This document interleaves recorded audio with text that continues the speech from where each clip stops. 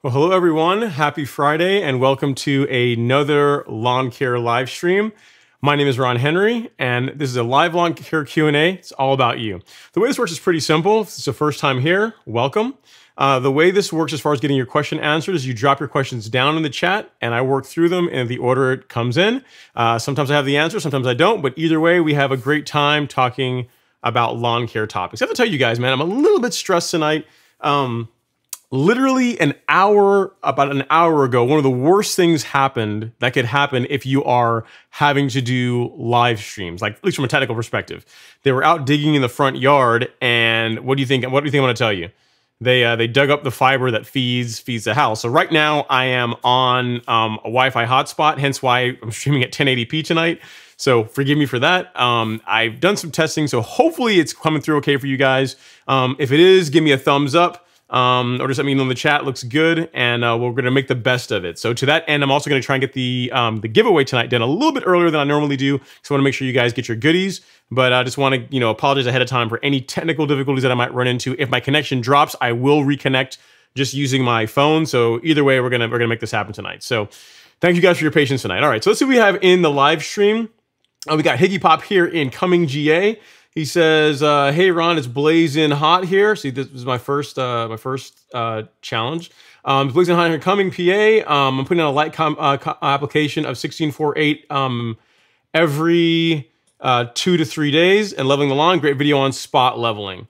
All right, Higgy. Well, I appreciate that. Let me see if I can do something about." Um, about making this uh, smaller. See if we can drop down your font a little bit and see if that will work.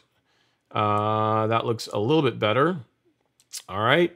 I think that will uh, get that done because now I'm at 1080p. So that's hence why we're uh, why we're not um, why it's not uh, quite as big as it as it normally is. All right. So let me see if that that's a little better. All right. Cool. I think I think we solved it. All right, so um, you're saying that your Bermuda loves heat. You're putting down line application of 1648 every two to three weeks, and the lawn seems to like it. Great video on spot leveling. I appreciate that, man. It's it was a ton of work to put that video together. Um, uh, a lot more than my than I, than I, normally put into some of my other videos. So I'm really glad that you guys liked it. That it was well received. Um, but uh, but yeah, it was a it was a fun one. Hopefully we'll see if it hopefully it does well as it continues to um, to get out to the masses. Appreciate you watching. All right, so we got uh, Kevin Sheehan in the house. What's going on, Kevin? Thanks to thanks for coming to hang out. I appreciate you, sir. Um, what else? Who else we have here? Mark Baker. I think Mark. I think you're you're relatively new to the live stream, but welcome. Thanks for coming to hang out with us this evening. And again, guys, tonight the topic or the questions that I'm, I'm mainly looking for are questions around top dressing. Um, if you guys know here and lately, I've been on a top dressing kick, both on my Instagram and also like the project that I was doing on the lawn.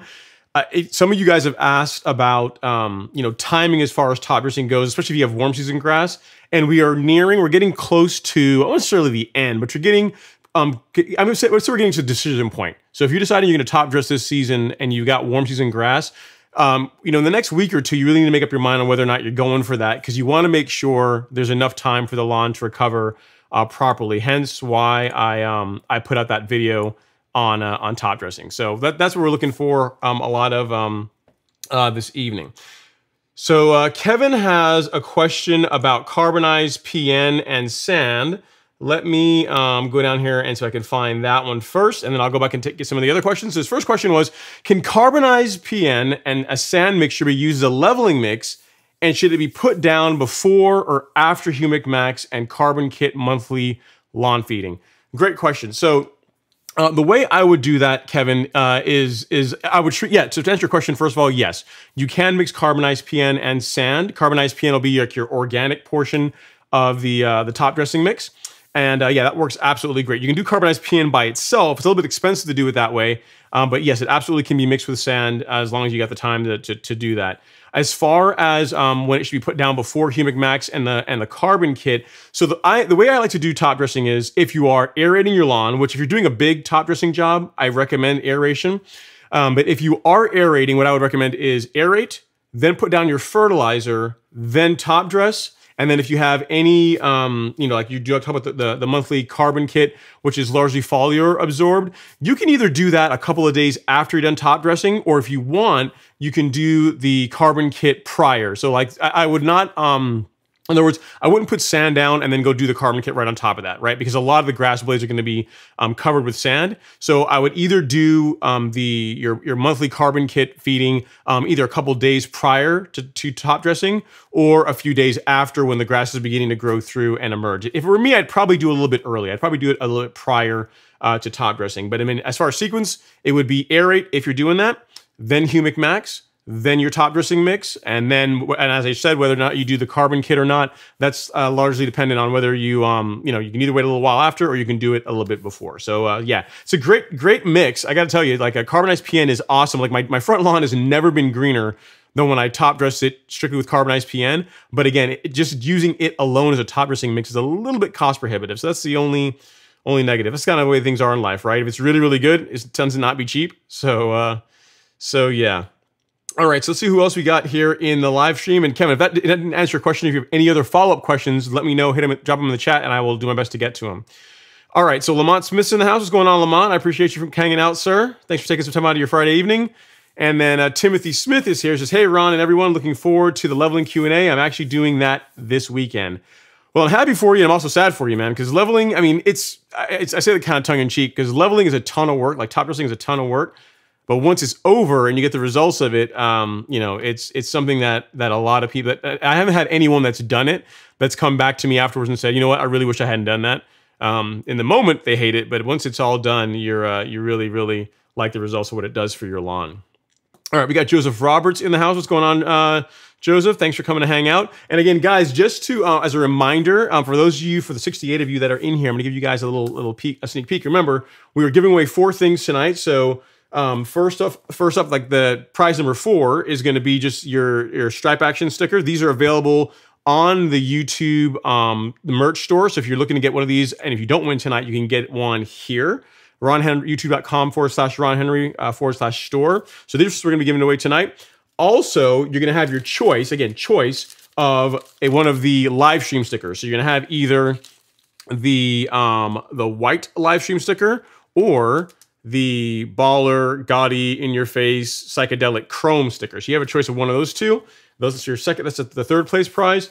Um, second place is going to be a, a lawn leveling tool. Uh, sorry, uh, sorry, lawn leveling tool, a manual weeding tool. Uh, this guy. So I was talking about this in a video a couple weeks ago. So I'm give one of these away because I always talk about the merits of manual weeding. And uh, so I figured why not give one away? And then the grand prize, guys. Literally, literally, this is one of two in existence. There's only two of these out there.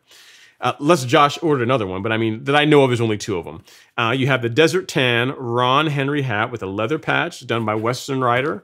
It's a pretty cool bit of kit. I really like this, and someone is going to win this tonight. So stick around for that. Should be a uh, a great time. Just want to give you guys a reminder. As oh, the way you have to um, enter to win. So last week's live stream, it's the one with the weed on the on the on the um, cover. Actually, I think I think that's what it is. Let me see here. I think that's what last week's live stream um, uh, thumbnail was. I'll tell you here really quick. I should know that, right? Um, well, yeah, the one that says on the topic of summer weeds. So the, the thumbnail that says summer weeds, that's the one that you're going to want to. Um, that's the one that you're going to want to um, to to look at. Um, and all you have to do to enter is leave a comment at the um, on that page uh, on that a comment on that video saying what you're doing for your fertilization. That's it. That's all you have to do. You don't have to be a subscriber. You have to do any of that other stuff. Just just leave a comment, and that and you then you get entered to uh, to win. All right. Okay. So let's move on to our next question. We have uh, Shazi um, from the UK. I always love it when we have the UK contingent uh, stepping in although you guys are, are, are laying the smackdown on us, man, and, the Olympics. I think in, in, swimming you guys are doing really well, and you know I'm sure and some other events we got it coming to us, but uh, but yeah. All right, so it says, hey Ron, um, and everyone, all good here in the UK. Finally got some heat wave. It's finally broken, some valuable rain at least. Glad to hear that because I know last week you guys had like what 75 degree weather, and it was it was uh, it was horrible. And this is an interesting question. So he says, or she says, um, Ron, can you please explain to me what humic acid is and the benefits. I can't seem to find granular form in the UK and wondering if I'm missing out on something useful. So I'm surprised you can't get humic um, acid in some form in the UK. So what it is is um, best way to describe it it's a nutrient it's a nutrient that helps feed the soil biology. So it helps with nutrient uptake helps stimulate microbial activity. So you can think of it the way how does it help nutrient uptake right? By stimulating um, microbial activity microbes break down or make available like the fertilizers and other um, um, elements that are in the soil that the grass needs to thrive. So by by improving microbial activity you're you're essentially improving um, nutrient uptake.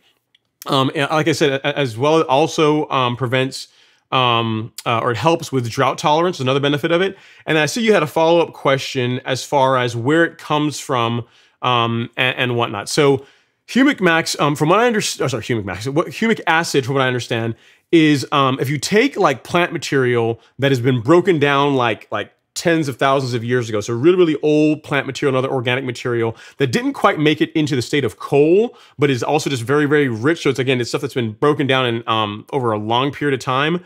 Um, that is what where humic acid comes from. So it's mined from um, a material called Leonardite. So if you look up like humic acid benefits, you'll hear see mention about Leonardite. So um, that is that's in a nutshell where it comes from. The benefits of it are that there really are no negatives to it. Um, again, it, it's it's only positives for feeding your soil, which in turn uh, makes your grass better. And you should be able to find that in some form in the UK. I'd be I'm surprised that you can't because you guys are all about um, you know organics. So I'm shocked that you can't find that um, available um, in the uh, in the live in the live stream. Oh, sorry, in the uh, in the UK. All right. So if you have any other questions, let me know. Hopefully that explanation was good. Um, if you have any follow up questions, drop them down, and I will do my best to help you out. Okay, Timothy has a question here. He has a, now our first top dressing question. He's a little bit um, or, or talk about scalping. He's doing PGR, and he's asking. Just finished uh, scalping my lawn in Georgia. It was beyond hot. It was hot today. It was really, really hot today. It got a little cooler in the afternoon, but it was it was in the 90s today. He said, "Will leveling tomorrow be okay?" Um, is it okay to apply PGR along with other treatments when I finish, or should I wait? So as far as leveling tomorrow, yeah, you can absolutely go for it. If you can deal, if you can stand the heat, the grass is going to be just fine. Um, as far as PGR, um, if it's the first time leveling, Timothy, what I would do I would recommend is this. Um, especially if you haven't done PGR in your lawn as yet, and we're a little bit, we're, I would say we're necessarily late in the season. We're getting towards the tail end of the season. Um, that I'd say let's hold off on the PGR. Everything else you can do if you want to do your fertilization, that's fine. If you want to do your, um, you know, any other soil amendments, no problem. Go ahead and go for it.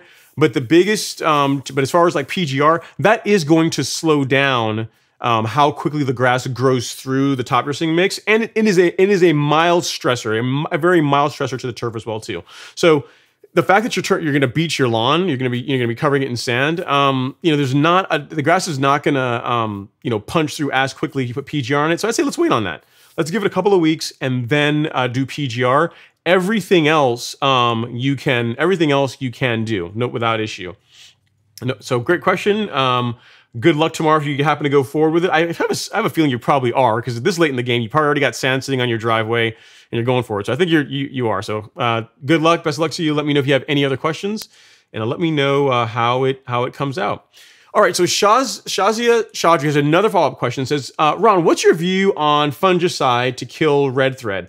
I've heard that fungicide can uh, kill the valuable bacteria, the valuable bacteria in the soil, so avoid using it. Uh, yeah, so uh, can it kill? Can fungicide work against red thread? Yes. Is it? Can it also be damaging to the microbial activity in the soil temporarily? Yes, it'll do both of those things.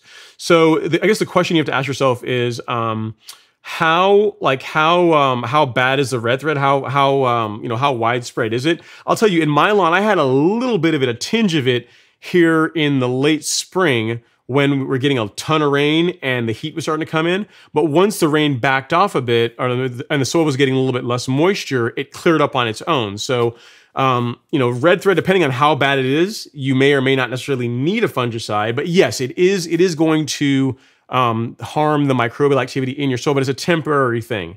Uh, as far as what fungicide I'd recommend, um, I'm, I'm, a big fan of the ones from Syngenta, so like Heritage G or, or the um, or Headway, either one of those. I don't know if you can get those in the UK, but there should be some equivalent that you can get in the UK that will um, that will take care of it. So yes, it is a very effective. It is going to temporarily, keyword temporarily, cause um, uh, you know a slight setback in the microbial activity in your lawn, but other than that, you should be uh, you should be fine. I wouldn't I wouldn't worry about it too much. All right, so next up we got uh, JC is in the house. Is what's up, Ron? What's going on? I appreciate you. And um, up New York Lawns in the house. What's going on, uh, sir? He says, happy Friday, all. And Ron, after this time, you can call me Emilio. Okay, so I'll call you Emilio from now on. I think I can remember that. That's a little bit easier than up New York Lawn. So Emilio's in the house. And, um, and then uh, Kevin has a follow-up question about top dressing where he says, uh, and is carbonized PN what you use to top dress your front lawn? Yes, yes, it is. Um, and I think I used, I mean, there's a video on it on top dressing, um, on top dressing with soil. And I think I used 20 bags, Kevin, thereabouts. I think it was like 20 bags what I used in the front lawn. Um, there's a video if you look up um, Ron Hen- YouTube Ron Henry top dressing with soil, you will see that. Um, you'll see that it's uh, yeah that I go through the entire process. I talk about using carbonized PN, and that is what I use, and it's it's awesome stuff. I mean, if you got a small area and you can afford to um to, to do it, it's gonna be it's gonna look it's gonna really really feed the soil. But now remember, if you use carbonized PN, strictly that, you're not top dressing for structure as much as you are for improving the quality of the soil. So something to keep in mind, right? If you put down, um, you know, if you're looking to to level the lawn and have that leveling job um, last a bit longer, you're gonna want to put some sand in with that. Right? You're not gonna want to go strictly with um, with carbonized PN. That's that is what I would um I'd recommend. So 70-30 mix. You know, that's like my mantra. I always anytime you hear me talk about top dressing, it's always 70-30 mix. That's that's the way to go for the most part. And um, yeah, that that's what I'd recommend for you as well. All right, so Connor Souls is in the house. He says, uh, "Hey Ron, what's going on? Hope you're doing well. I'm doing all right, man. I'm hoping um, the Wi-Fi hotspot holds out so that we can uh, we can get through the live stream. Um, but yeah, overall, I am I'm doing doing all right. You know, again, worst uh, worst case is first world problems, right? So we will get through it. All right, we got Tomax from um, uh, Orlando, Florida, in the house. What's going on? And um, and then up New York uh, says, or sorry, Emilio says he's been re- rewatching all your videos on top dressing. I can't wait for my grass to die and put down an 80 20 sand compost for the renovation. Yeah, man, with you where you are um, as far as top dressing goes, man, like for warm season guys and gals, we are um, getting closer to the tail end of our top dressing season for cool season guys, you're about to get into go time. So like late August, early September, that's when you, that's your time to really get ready for, for top dressing. So uh, so yeah, sounds like you are are getting all geared up and uh, to to go. So yeah, yeah, man, I'm glad that you're finding the content useful. And and largely like the same process that that is used for cool for warm season grass can also apply to shortcut. Um, sorry, that applies for warm season grass can also apply to shortcut cool season grass too. So if you're strictly going for structure, you can go with 100% sand. There's a lot of people that do that. But I'm a huge fan of doing a 70 30 mix. I think if you're going to go through all the trouble, you might as well also improve the quality of the soil at the same time. No reason to just to just to just level the lawn because you're not you're not a golf course, right? You want your lawn is more like a fairway. You want to make sure you're improving soil quality uh, at the same time. What's going on, Super Today? Thanks for hanging out, as well as Daryl Tunstall. What's going on, Daryl? Oh, guys, and I actually had to. Um, I promised um, uh, our one of our you know live stream celebrities. Um, Mr. Jay Pompano, who got his stripe action shirt for his birthday, he sent me a picture of it. So I told him I would show him on the live stream. Uh, so this is uh, J- is Jay. He got his stripe action shirt from the Ron Henry merch store wearing it with pride. And the lawn is looking pretty solid, sir. It's looking pretty clean. I mean, I, I mean, here, here's the thing. There must be a slight point deduction, Jay, for it not being warm season grass, but overall, not bad. Overall, not bad. An awesome shirt, man. I really, really appreciate the support. All right, J-Bo Outdoors is saying, hey, from Alabama. Uh, what's going on, sir? Thanks for coming to hang out in the live stream. And then Lario Pope has a question about weed control. He says, hey, hey, Ron, I need your help. I have dove weed taking over my yard. I applied two applications of pre-emergent between February and March. Okay. Um, so there's a couple of options for that. I'm almost positive that Spectracide will handle that. I'm not sure where in the country you are though, um, Larico. If you can, let me know where in the country you are. If I'm going to answer this question as if you are in um, Georgia, right? So you have warm season grass. If you have warm season grass, what you're going to want to go with is something um, called Spectracide. Super easy to get your hands on, um, really easy to apply. And uh, I'll show you here what I'm referring to. It's this guy here, Weed Stop uh, Plus, and I'm pretty sure that Doveweed is one of the weeds that it controls. We can actually check here live. Uh, yeah, it is. There you go. See, so Doveweed is one of the ones that it takes care of. Um, this guy controls over 470 weeds. And what's cool about this is that it's a combination of several um, post-emergent herbicides, right? So you've got um, uh, Quinclorac, dicamba, um, 2,4-D. So it's got a, a, little bit of everything in it, and and that's how they're able to take care of a lot of weeds um, in a product that's that's you know relatively nicely priced. I mean, you can pick this up for around uh, 10 $15 at your local Home Depot or, or, Lowe's or something like that. So you can, you can find this online also, but locally you can find it pretty cheap as well. So this is what I would try if you have um, warm season grass. That's that's what I would go with. That's um that's the way to go. Now, as far as why your pre-emergent application in February, March didn't or is not didn't keep doveweed away, hard to say. I mean, it could have been the rate that you use, like your application rate. Could have been. I mean, February should have been early enough to prevent germination. Um, but um but but yeah i mean it's it just it, again it's just it, even if you have pre-emergent will is not like a um a silver bullet in the sense that it will prevent all weeds from from being an issue in your lawn. It's going to it's going to seriously reduce it when done properly when applied properly but doesn't mean if you put down pre-emergent you're never going to have any any issues with weeds in your lawn at all. So just something to uh to keep in mind. Great question. If that and if you if that didn't help you out uh, let me know down below and I'll, I'll revisit it all right, so um, Alex B has a question. He says, uh, "Hey Ron, do you ever use peat moss in your lawn? Seems it divides opinion, but I find it useful as part of a top dressing uh, and overseeding to help keep the seed in place and the birds from eating it." Okay, so I have never um, used peat moss uh, myself, Alex B. I have seen, I have heard about that as far as the benefits of it um, being used to, um, you know, to keep, uh, to, to, to mainly for keeping birds away and also for helping the, the seed that you just put down retain moisture. That's a, a lot of the big reasons why I've heard people um, tend to like that, like to use peat moss. I've just never used it. Um, what I tend to do is I'll seed and I'll just lightly rake the seed um, into the top dressing mix, and that I've gotten a pretty good result with that. But I mean, there's no, there's nothing wrong with doing it. I don't have anything against peat moss. It's just another step that I just haven't haven't ever done. I, I might even get better results had I done it, but it's not something that I um, I've done myself. But I mean, yeah, I mean, there's there's tons of people that as if you look at like the standard way you seed a lawn, most people will say, um, you know, get down a nice light light layer of topsoil, seed, and then either put down like straw or peat moss as a means to keep moisture and to keep the birds away. I kind of think the whole birds eating all the seed is a little bit overblown, but I mean, there's other benefits of peat moss um, other than that. All right, great question. All right, um, and then and then um, Winchurch in the house says, "Hey y'all, um, your man chatting it up already. Let's give a big round of applause for the master of ceremony, the MC Ron Henry. Cheers, give it up, y'all. I appreciate it, Wind Chariot. And I know we're a little bit early in the live stream, guys, but if you guys wouldn't mind touching the like button ever so gently, you know, normally I wait till like eight o'clock in the first hour or so to take a sip of my lemonade, but it's been a little stressful, guys. Like my internet was cut off literally an hour before the live stream having to do some backup, you know, um, you know, rig together kind of stuff. So I'm gonna have a sip of my lemonade while you guys touch the like button ever so gently if you don't mind. I'd really appreciate it. Love lemonades, great stuff. All right. So the next point we have, next question we have here, or comment is from Troy Ridley. He says, "Hey Ron, and live stream crew, Troy from Central Texas. What's going on, Troy? I see you in the comments sometimes. It's always fun to uh, to hear from you and see you hanging out. And then Tomax uh, Zamot uh, says, Got some of your all natural insect killer. Can't wait to try it out down here. All these ants and mosquitoes. Great segue. Uh, Tomax is one of the things I wanted to talk about tonight. So, what Tomax is talking about, you guys know in the live stream here, past couple of weeks, I've been getting questions about, hey, what can I do to kill white flies? What can I do for ants? What can I do for mosquitoes? You know, what can I do for all these different, a lot of the, the pests that just make it a pain for us to be outside, right? So the issue is a, a lot of those products that you that are really effective, um, you really want to apply them through a mister or a fogger of some sort. And um, you really need to, if you if you because the toxicity of some of them, you really need to wear the proper PPE. You need to be all like gloved up, long sleeve shirts, all this kind of stuff.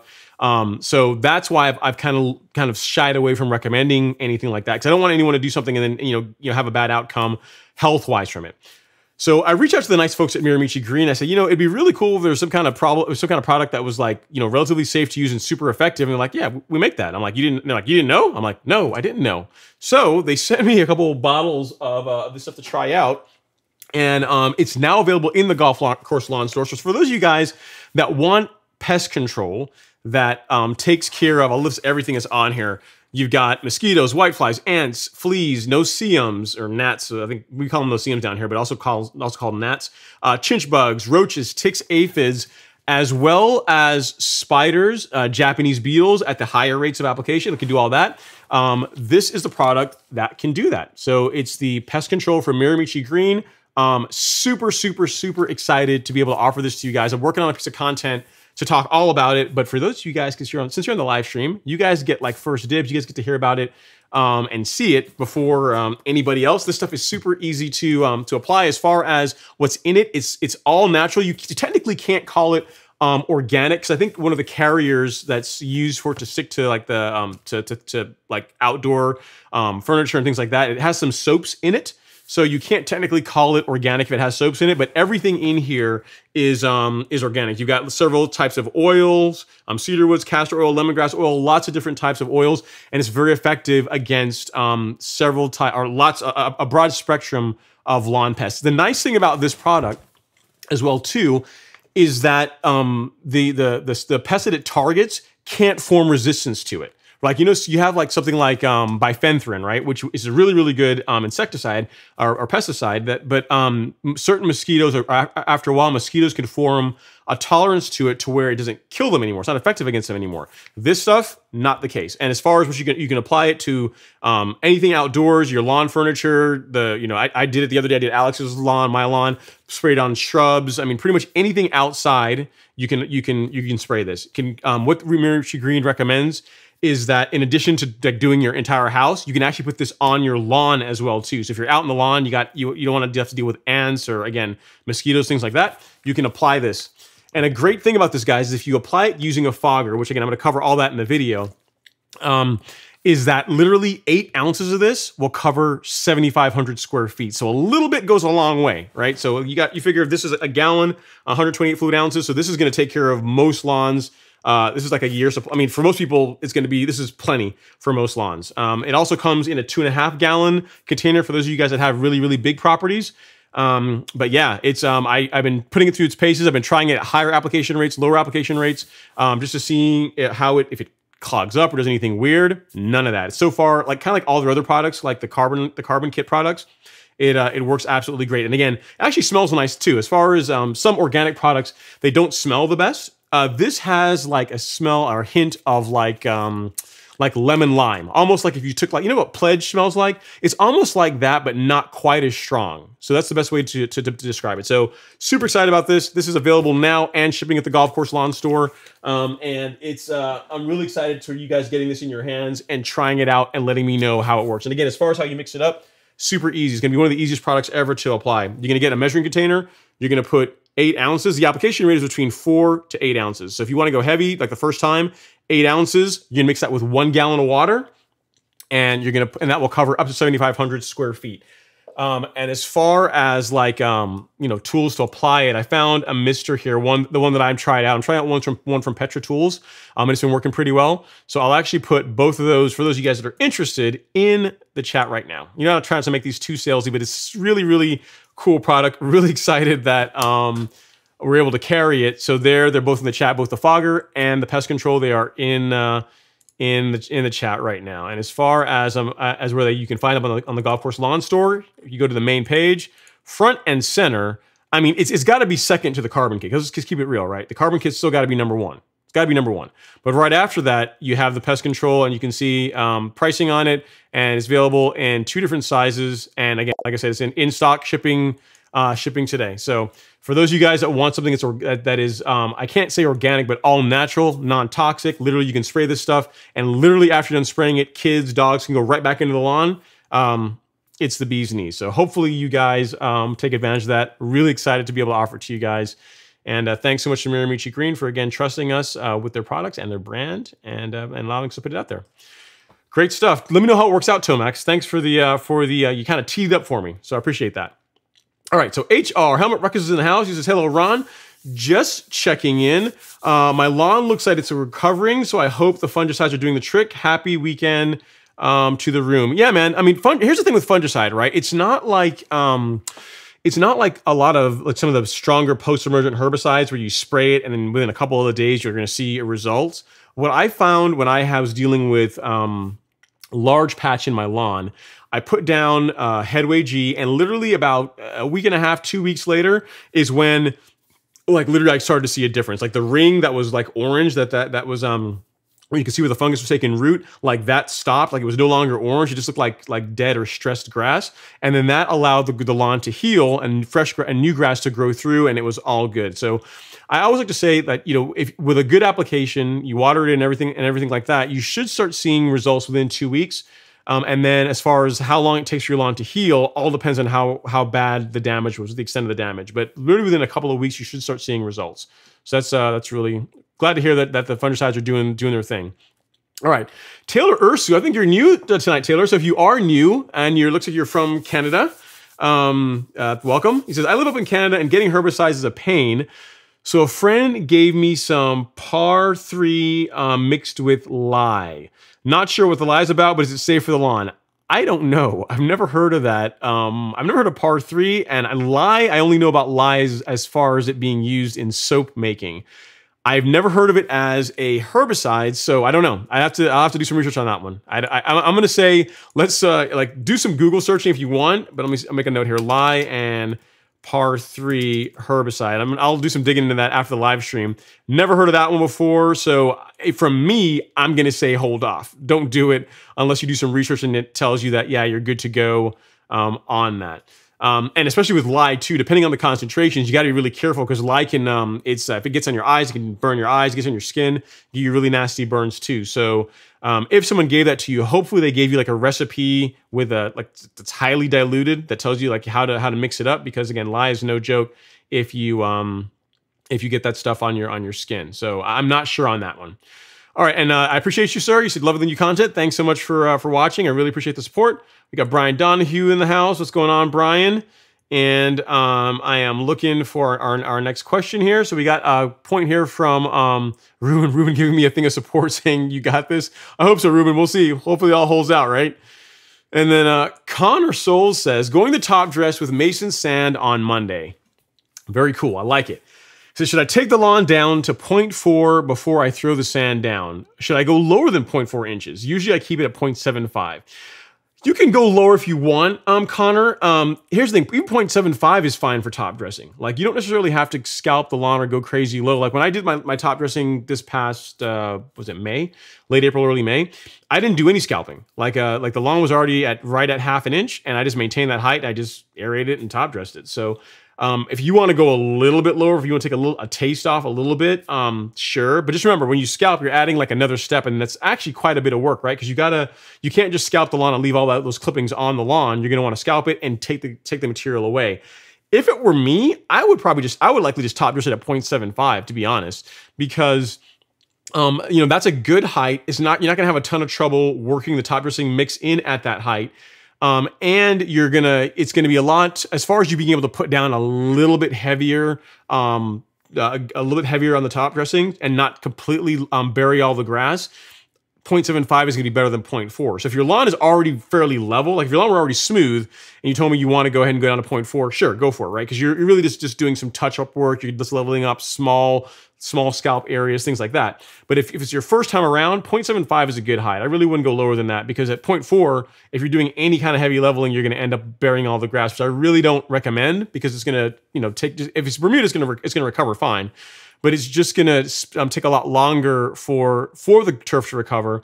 And um, another negative to going super heavy is that if you get a heavy rain, the grass isn't there to hold on to the top dressing mix, right? So you've got the grass like here, you've got like a a barrier on top of it, you get a heavy rain, it'll get washed all over the place. Versus if you this is your grass and the top dressing mix is kind of intertwined in that leveling, in that um that in that turf of the grass, you've got something like uh, like I don't know, like like hands, fingers to hold the top dressing mix in place, even if you get a heavy shower. So that's another reason why I the more I think about it, if it's your first time around, I would just leave it at 0.75. I wouldn't I would introduce um, a lot more work than that. All right. Um, Emilio's saying, oh boy, what are we doing with our tech, huh? He says, uh, looks clear and good. Uh, thanks, sir. Well, hopefully it holds out. And uh, hopefully my my uh, hotspot holds out. We'll see. Um, but yeah, thank you for uh, for watching. Um, what's up, Patrick in Texas? Uh, sup? See, that's that's that's a very that's a very uh, Texas handle. You know, Patrick in Texas. You know, it's like it's just you know you should know I'm in Texas and name's Patrick. That's all you really need to know. Uh, I, I, appreciate you hanging out, sir, in the live stream. It's uh, it's always fun. And then, uh, yeah, thank you for that, um, um, Alex B says, we'll stick with you despite the internet woes. I had a similar issue at work when the ISP was working on wires in the street. Yeah, man, they always pick the I mean, there's never a good time for your internet to go out, right? But it's it's never good, literally an hour before the live stream. Like, literally, I was here, I was sitting here checking, like, getting my thoughts together, putting them some notes together and all this kind of stuff. And I hear like the like the ditch witch in the front lawn, or like not the my front lawn, but like the front lawn like right next to me. And then I literally I'm on Google searching something, and literally it goes Google's not working. I'm like, I, I, I'm not gonna tell you guys what I said, but I, let's just say it's things I don't see on the live stream. How about that? I was kind of irritated about it. Um, and then I went outside and I was saying, no, we didn't do anything. I'm like, yeah, you totally did. And then the next door neighbor, same thing. His internet went out too. So uh, it looks like it'll be, um, you know, maybe this weekend, more than likely Monday before it's fixed. So we shall see. All right. Chris Balducci, best name ever, is in the live stream. Thanks for coming to hang out, Chris. I appreciate you. And Grace is also in the live stream. Thank you so much, Grace. I always like having you uh, around. You're, you're, definitely a great supporter of all the live streams. The other ones that I pop into occasionally, I always see you there. So it's really cool that you uh, take the time out of your day to support um, all the other creators. Really, really appreciate it. All right. Rob, Rob Schott has a question and a comment. He says, Hey, Ron, hope you're doing well. Hanging in there, sir. Hanging in. A little stressed, but I'm, I'm, I'm getting catching my stride.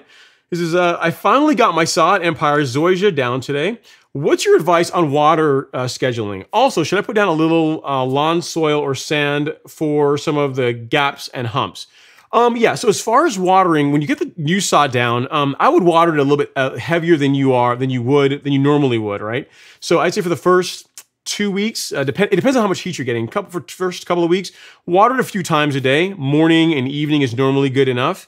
Um, don't now. Here's the thing: when I tell you water it and keep it keep it um don't keep it hydrated, don't turn it into a swamp. You just don't want to let you know the sod dry out too much. You want to give it every opportunity to root in.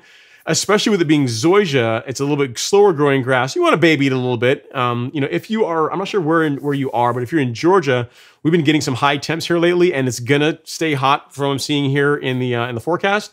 So just keep um, you know keep some water on it. As far as putting down a little bit of soil or sand for the gaps and humps, you can do that too. Key thing here, Rob, is you got to go light. Like Zoysia is not aggressive like Bermuda is. It doesn't grow nearly as fast. So if you are going to put down a little bit of topsoil, a little bit of sand just to fill in bumps, you'll again a very light top dressing. Um, you can do that, but you got to go light. You can't like like literally when I, when you look at your lawn, um, it should almost look like you didn't hardly do anything. At no point can you bury any any of the grass at all. So if you can do it, go light. You can. Um, you know, we're kind of running. We're getting closer to the tail end of the season for top dressing. So if you want to do that, go ahead and go for it. And um, you know, there's just people that literally put down sod and then like the, a couple days later they top dress. So that can work. Just go light. Just go light. All right, Thomas Tucker is in the house. He says, "What's up, Ron? What's going on, Thomas?" He says, "Will Essential G be going on sale anytime soon?" I used it along with humus and sand during my last top dressing, and I'd like to repeat that process. That's a good question. I'll have to reach out.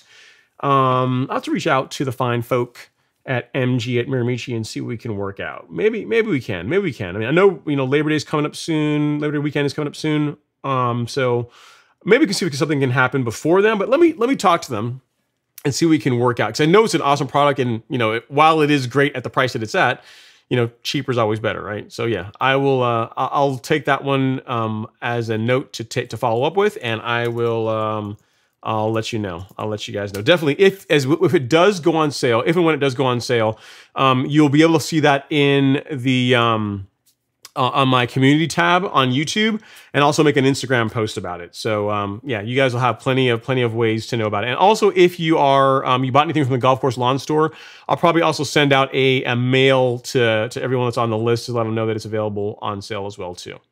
Very cool. All right, so Rob Schutz also saying, hey, my California trimmer will be here on the 12th. Can't wait. Congratulations, sir. You don't have it yet, but you know what? We are going to clap it up anyway. Congrats on the new mower.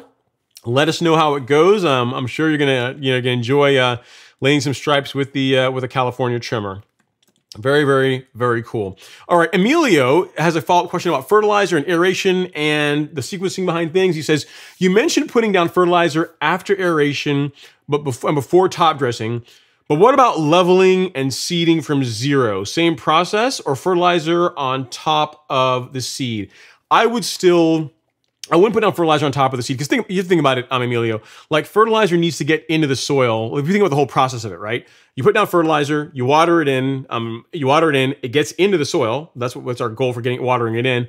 Um, and then microbes break it down and make the nutrients available to the grass. In our case, the new the new sprouting grass seed for uptake.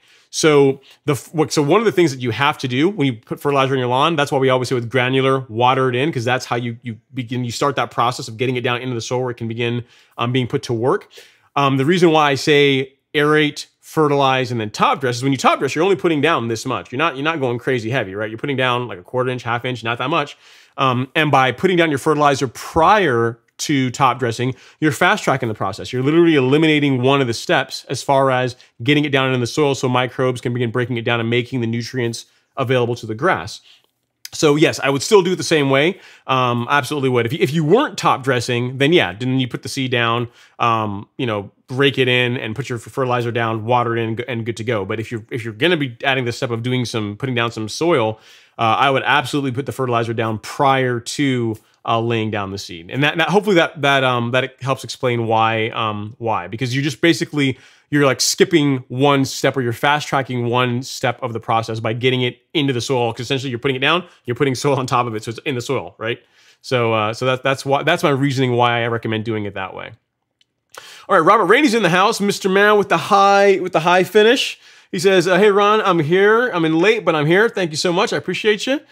And uh, Alan C says, proud moment. Okay, here we go. This is going to be good. He says, proud moment. Three neighbors asked me this week what I was doing to make my yard so great. I easily advised Ron Henry YouTube. I appreciate that, man. It's always cool whenever you, uh, you know, other people, especially people that aren't super lawn care nerds, are taking note of the lawn and, um, and, uh, and you know, and they recognize it. It's funny. I was out, I was out um, doing, I was doing the spot top dressing. You know, the video that I did earlier this week um, around like spot dressing, how to fill in ruts and bumpy areas um, after I got done filming that, I was like just going over everything, and this lady in the neighborhood was walking by with her dogs, and she says, "Your lawn looks great as always." And I'm like, "Yeah, it looks pretty good. There's a few areas here, a few problem spots here and there. I still got to work on." And she says, "Look, what's what problem spots?" I said, "Well, if you look right here, this area is not really bumpy. It's got some ridges. It's not as, as good as it could be. You know, I get a little bit of scalping here." And she kind of looked at me with this blank stare, like, "It looks really good to me." So, to, so the thing you have to keep in mind, I, I say that kind of jokingly but we are by far our own worst critics. I mean, short of like me coming to your lawn and looking at it, like another lawn care geek coming and looking at it, to most people, what you do with your lawn, even at a very basic level, looks incredible compared to like most lawns in your neighborhood. So I'm glad to hear that you're getting good results, man, and that people are recognizing all your hard work. Super awesome. Super, super awesome. All right, so we got a couple super chats I got to get to here. First one is from Kevin D. Jones. Thank you so much, Kevin. Super chat received. I appreciate you. Thanks for the support, the love and support. And then we got another super chat here from Travis Winston.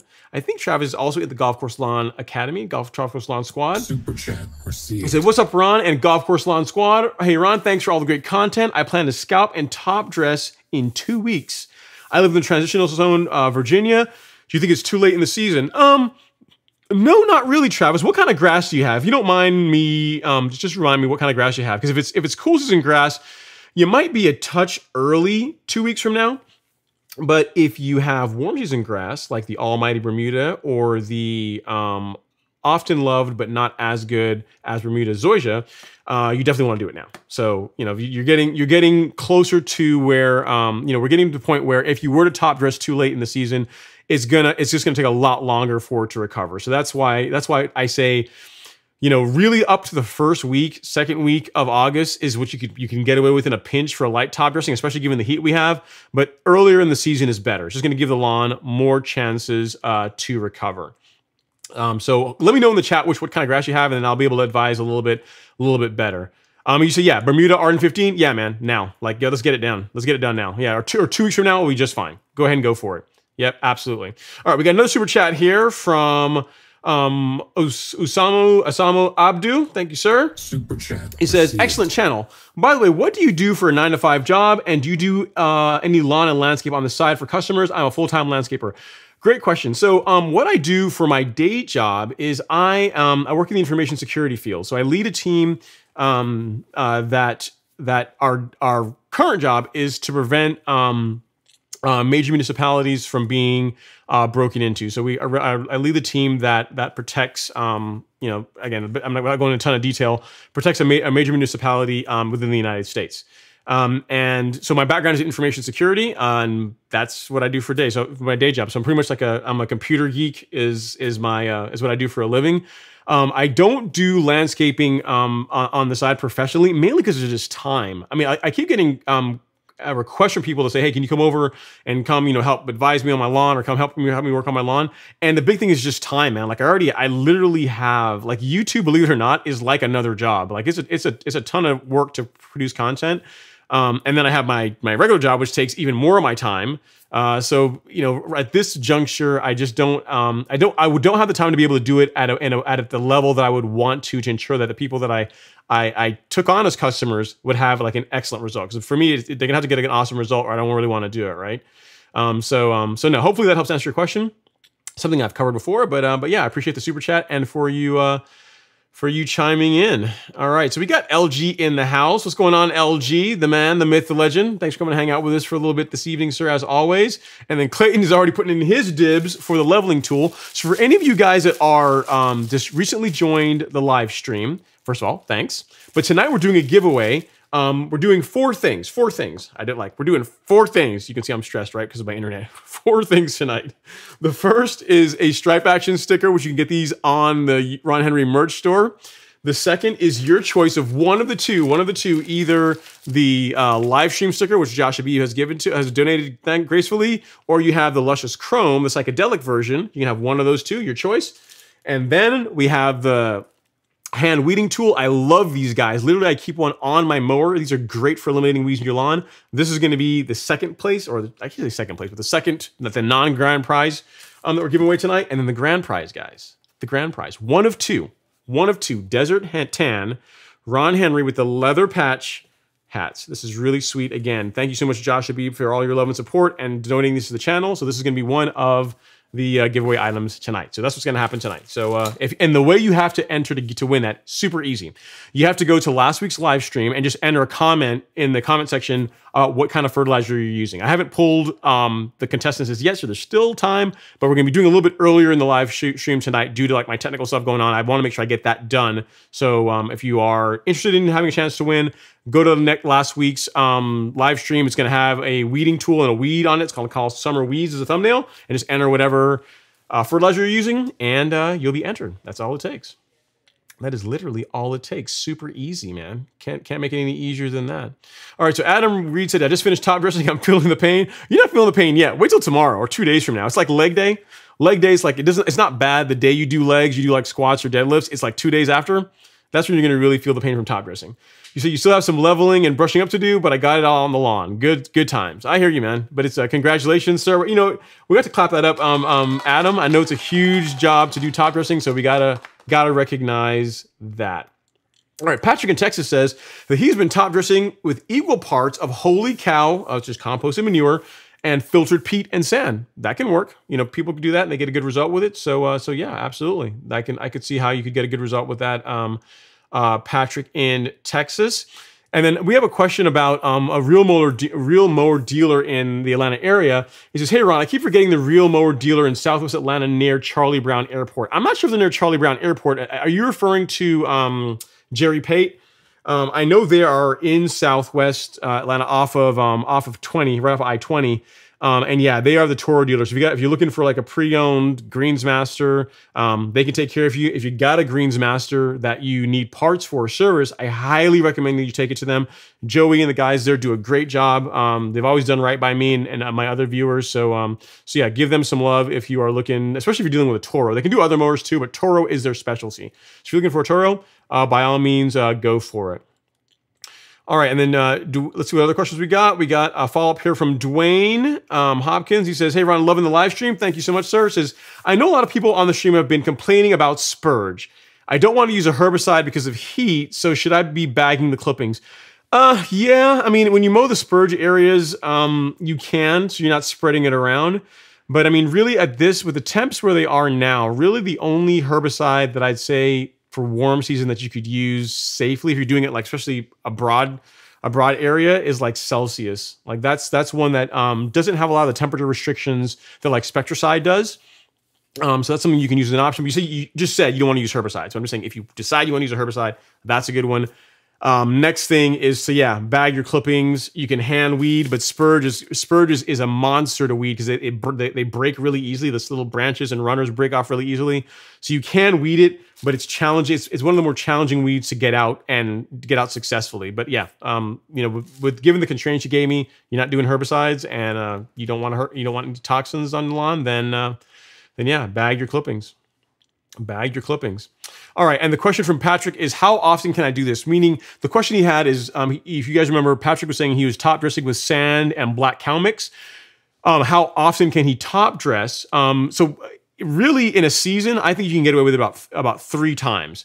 Um, really, once the sand, once you've top dressed the area and the grass grows through, and there's still some trouble spots, go for it again. You absolutely can do it all over again. The big thing is uh, why I say three times because I actually want you to actually to enjoy your lawn for a little while too, right? Like you can you can just be top dressing the entire time and fixing small areas here and there, but at some point you're going to want to enjoy your lawn, right? You don't want it to be you don't want it to always be covered in sand.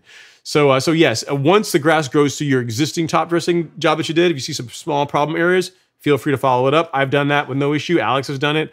Um, no problems whatsoever at all there. All right, so Alex B is saying that he's also saving up and trying to make room for a motorized spreader. Manually top, top dressing 11,000 square feet with mostly topsoil by myself is rough. Um, which motorized spreader do you have? I don't actually own a motorized spreader, Alex B. The one that I, I've rented is from Earth. Um, I, I, rented it from from Keystone Rental in Duluth, Georgia, and it's called Earth. I think it's called Earth and Turf is what is what, is what the brand is. And um, I, I, mistakenly said on a live stream that you can buy them for three thousand dollars. What what I meant is you can buy them pre-owned for around three thousand dollars. You get a used one around three grand. Brand new, they go for closer to seven to eight thousand dollars. So um, that one works great. Um, I I love the results um, we get with it. It saves a lot of time, like you said.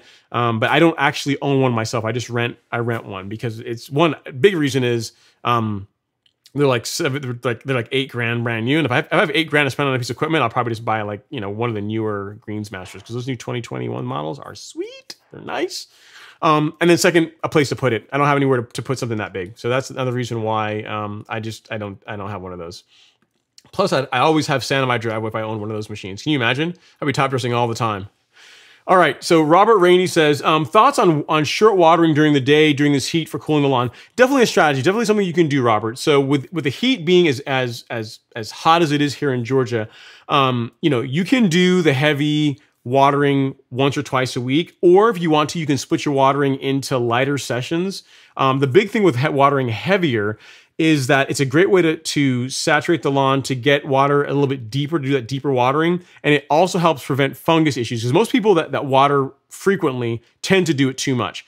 If you're to back down your the length of time that you're watering the lawn and you want to do it more frequently, so you, you want to do it every other day, um, that can work. That absolutely can work. But I would not run the same length of the cycle that you use for your weekly watering every other day. That would be too much. You know, you couple to all that water and then all the heat, and you're just asking for potential fungus problems. So if you're going to do it, back down the watering cycle um, a little bit. Um, but yeah, that absolutely can work. It's a it's actually a good way to um, to keep the grass greener and from seeing stress. Bermuda's actually pretty good about it in the sense that even Bermuda, as soon as it gets rain, it just pops back really quickly. It greens back up really nicely. Uh, if you, especially if you have a zoysia lawn, I would I would consider the strategy you're talking about because zoysia is a little bit more sensitive um, than Bermuda when it comes to heat and As far as recovering um, from heat stress, once it is um, once it begins to yellow up a little bit from from heat stress. All right, so Fred Rosales is in the house. He says, "Hey Ron, I recently attempted to level my lawn with mason sand, but the supplier did me dirty, and it had tons of small rocks. I'm afraid to ruin my reel mower. What um, what if anything can I do?" Okay, so. I hear you. That happens. Um, you know, yeah, as far as getting small pebbles and rocks in it, if you have a leveling rake, Fred, what you're want to do is you're want to go through and rake the lawn, like literally go through. Um, and I do this regardless.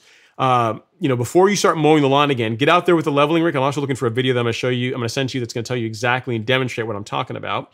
But get out there and rake the lawn, like run the dra drag the leveling rake over the lawn. That does a couple of things. First, is going to help um, work the leveling mix in a little bit better. It's to help it, like it's to expose those grass blades a little bit sooner than they otherwise normally would be. And then second, um, it's going to pick up small little rocks and pebbles. It's really, really good for that. So there's two reasons why you really should be dragging your lawn with a leveling rake um, once you're done top dressing as part of the uh, the recovery process. So the video I'm talking about is that one. It literally, it's it's like me saying what now. I, I, offer like three tips around what to do with your lawn, and I talk about watering. I talk about um, what's the other one? I, the last one is mowing. I'm trying to think what the second one is. I think the second one is actually that. It's what's watering. It's raking the lawn with uh, with a leveling rake to get rid of pebbles and little trash in the lawn. And the third is around like um, making a slight adjustment to your height of cut uh, before you start mowing your lawn after top dressing. Super short video. Um, super helpful information. So check that out if you've not as yet. I just put it in the chat. So uh, not now, but after the live stream, you can check it out. And I think that will answer your questions. So uh, yeah, it's it's it's not uncommon what you're dealing with. I mean, I would not say. I mean, if they put like big rocks in, I'd be mad at them. But small rocks, that's kind of par for the course unless you go with something really like a really high end top dressing mix. Unless you get like like USGA sand, um, which is gonna be more expensive, or you get like that leveling mix that I use from soil, um, some super sod. Like that stuff didn't have any trash in it, but it's also a lot more expensive than just like you know standard masonry sand. So you have to kind of weigh, you have to balance like cost versus not having to deal with like some after work like what you're doing. So hopefully uh, that helps. All right, so we have a question from Mike Quiss about getting Zoysia darker. He says, Hey Ron, any thoughts on getting Zoysia a darker green to match the rye tif, uh, turf type tall fescue. I don't. It's still even guys. It's been a year, and saying turf type tall fescue is still a tongue twister for me. Don't know why. Don't know if it'll ever be able to get around that. Help me. Uh, getting Zoysia to match those in my lawn. It says macros and ironite once a month, micros every two weeks. Currently, I mean, it sounds like you're doing a lot of the right things, Mike. The big thing you have to keep in mind too, right? Zoysia, at least the Zoy, most Zoysias that I've seen, it doesn't. I mean, it tends to get more of um, like an emerald color, right? It's like a it's like a like a lime like a lime green color. It's not like a super dark punchy green like um, how Arden 15 can get, um, how Celebration Bermuda can get. It tends to be a little bit lighter. I mean, it's a it's a deep green, but the hue is different. It's almost like um, oh, it's almost like the text on the screen. Like I mean, it's not quite that bright, right? But it's not like whereas um, whereas like Bermuda can get as dark as like I don't know. Let's get this hat out here. Whereas Bermuda can get like this kind of hue, like this, or even maybe a little bit darker. You're gonna be challenged to get Zoysia that dark, right? It's gonna be more like the, the text of the color of the screen, but just very rich, rich colors. So, uh, and then turf type tall fescue um, and rye also get pretty dark in color as well. So what you're dealing with is just um, the differences in grass types, right? Because I mean, when you're whenever you spray the mac the macros and uh, and the ironite on the lawn, you're not only spraying on the zoysia, you're also spraying it on the rye and the turf type tall fescue. So they're also getting darker too. But I think just naturally between the two grasses, like there are just color differences between zoysia and those grass types. So matching them is going to be a bit of a challenge, unfortunately. So sorry I don't have a better answer for you, but um, it's it, that's a tough one. Um, yeah, it's a tough one because just innately the two grasses just look different. Color wise, they just look different. Um, but yeah, yeah, I don't have I don't have a better one for you on that because there's not really a way to isolate just the zoysia away from the other grass types, unfortunately. All right, so Robert Rainey has a question about uh, his good good advice, actually great advice, saying stay hydrated in this heat while top dressing. That's true, man, because top dressing is rough work. I mean, you're out there, um, you know, it, it, it's always fun when you start. It's almost like when you go on a road trip, you know, it's always fun when you first get in the car and like, hey, we're on the road trip. It's awesome. And then it's like, you know, two hour, two hours in, three hours in, it's like, the, are we there yet? Starts to settle in. Um, that's how top dressing is. It's kind of one of those things uh, but once you start it, it's uh, it's like every every time when I've I've gotten into it, like probably about five six hours in, I'm like, man, why do I do this to myself? And, and I, I remember why people pay services to do it for them because it's it's like it, it's expensive to pay someone to do it, but it's kind of worth it because it's a it is a ton of work to do properly. Um, but yeah, you know, once you're in there, once you're in it, you're in it. You know, it's like pregnancy. Once you're, I mean, not that I've ever been pregnant, but once you're pregnant, there's only one way out of it, right? Once you start putting that sand down, there's only one way out. You got to get it all done, right? So, uh, so yeah. All right, so um, Will Dog Hail States in. He says, "What's going on from the deep fried south? What's going on, Will? We are deep fried, man. You guys should see the ryegrass. I got to show you guys that maybe tomorrow. I'll take a, I'll do a YouTube story and show you it. Ryegrass is hating life right now. A lot of it's actually died off from all the heat we've gotten here. So it's uh the rye is finally not not doing well." All right, and then Timothy says from my earlier question, I actually have uh, two big yellow bags of Soil 3 leveling mix. It's going down tomorrow. Yeah, man, that's awesome, awesome stuff. So yeah, you're not, you shouldn't have as much, um, if any, trash in uh, in the Soil 3 mix. It's very, very clean stuff as far as top dressing mix goes. One thing I'll tell you is that um, you will see little clumps in there. That is the compost. Don't really worry about it. What I would do is take that compost, the little clumps, and make sure you spread it around the lawn as much as you can, because as soon as you get we get some rain or you water it in heavily, that's going to begin to break down and get down in the soil. So don't don't look at the fact that you've got like this light, like I don't know, like almost like little hairballs all around the lawn, make you think that oh no, I've got to break those out. Do not throw those out. That is like part of what you paid for. Like literally just spread it out evenly, get it evenly distributed as much as you can, and then when water water whenever water hits it it's going to break down and get down in the soil. So awesome, man. Great stuff. Glad, glad that you uh, went ahead with that. All right, so Alan has a question about temperatures and taking care of weeds. He says, lots of weed pressure. New Bermuda sod this March is also 100 degrees. What can I do? Crabgrass and nutsedge feels like every um, one week I hand pull, two more grow. So with 100 degree temperatures, the only thing, I mean, I'd even want the temps to fall a little bit more, even even for recommending Celsius, man. The only thing I would I would attempt um, with those types of temp with those types of temperatures is is Celsius, you know, because it's where's a lot of um, where's a lot of uh, very effective herbicides that that are that will work against crabgrass and nutsedge. Um, when you get into to temps of around 100 100 degrees, eh, you know, they, you're getting you're getting past the um, the recommended temperature range for those. I mean, whereas Celsius, um, you can spray it at much higher, or higher, I say much higher, but higher temperatures with um with less adverse effects. So if you want to go for spraying a herbicide, I'd say Celsius. Um, let me send you uh, that Allen C. This is it here. Um, and make sure you read the label. You know, you want to make sure that you um you apply it properly, use a good surfactant with it. Um, and as far as the effectiveness against crabgrass, the earlier you can catch the crabgrass, the better. So younger crabgrass is easier to kill than older crabgrass. Um, same thing with, it's true for most weeds, but crabgrass especially. Um, if the temperatures were lower, I'd say go get you some quinclorac. That's going to be a little bit cheaper, um, and it's very effective. But um, with the temps where they are, I don't know that I would really go that route. And Celsius should knock out both of those. Um, so so yeah, hopefully that helps. I'm sorry you're dealing with weeds, but you know there is an option with Celsius, and hopefully the temps will drop here soon to where you're not dealing with um, you know the, the the the high temps that are pushing crazy amounts of growth in the lawn. All right, so Dwayne Hopkins is in the house. He says, "Hey, uh, hey, Ron. Uh, two years ago, I uh, had my lawn overseeded with perennial rye. I didn't overseed last season. I still have rye, uh, especially in areas where my Bermuda is weaker in the shade areas. Yeah, that's pretty. That's that's um that's not uncommon, Dwayne. I mean, perennial rye is not going to die off, um, you know, by itself in most cases, unless you get like super high temps. It's not gonna it's not gonna die off like people say. Like a lot of people say, you know, put down perennial rye in the fall, and in the springtime it'll go away, and the Bermuda will grow in. Not really the case. You have to you really have to spray it out if you want to get rid of it.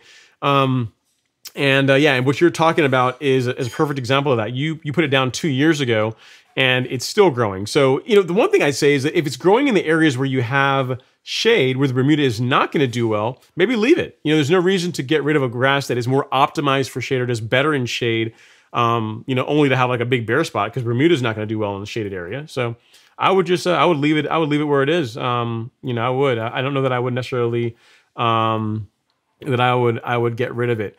Uh, he says, if you want to kill it, he says, so here's his follow up question. He says, when, what should I use to kill it, um, and when is a good time?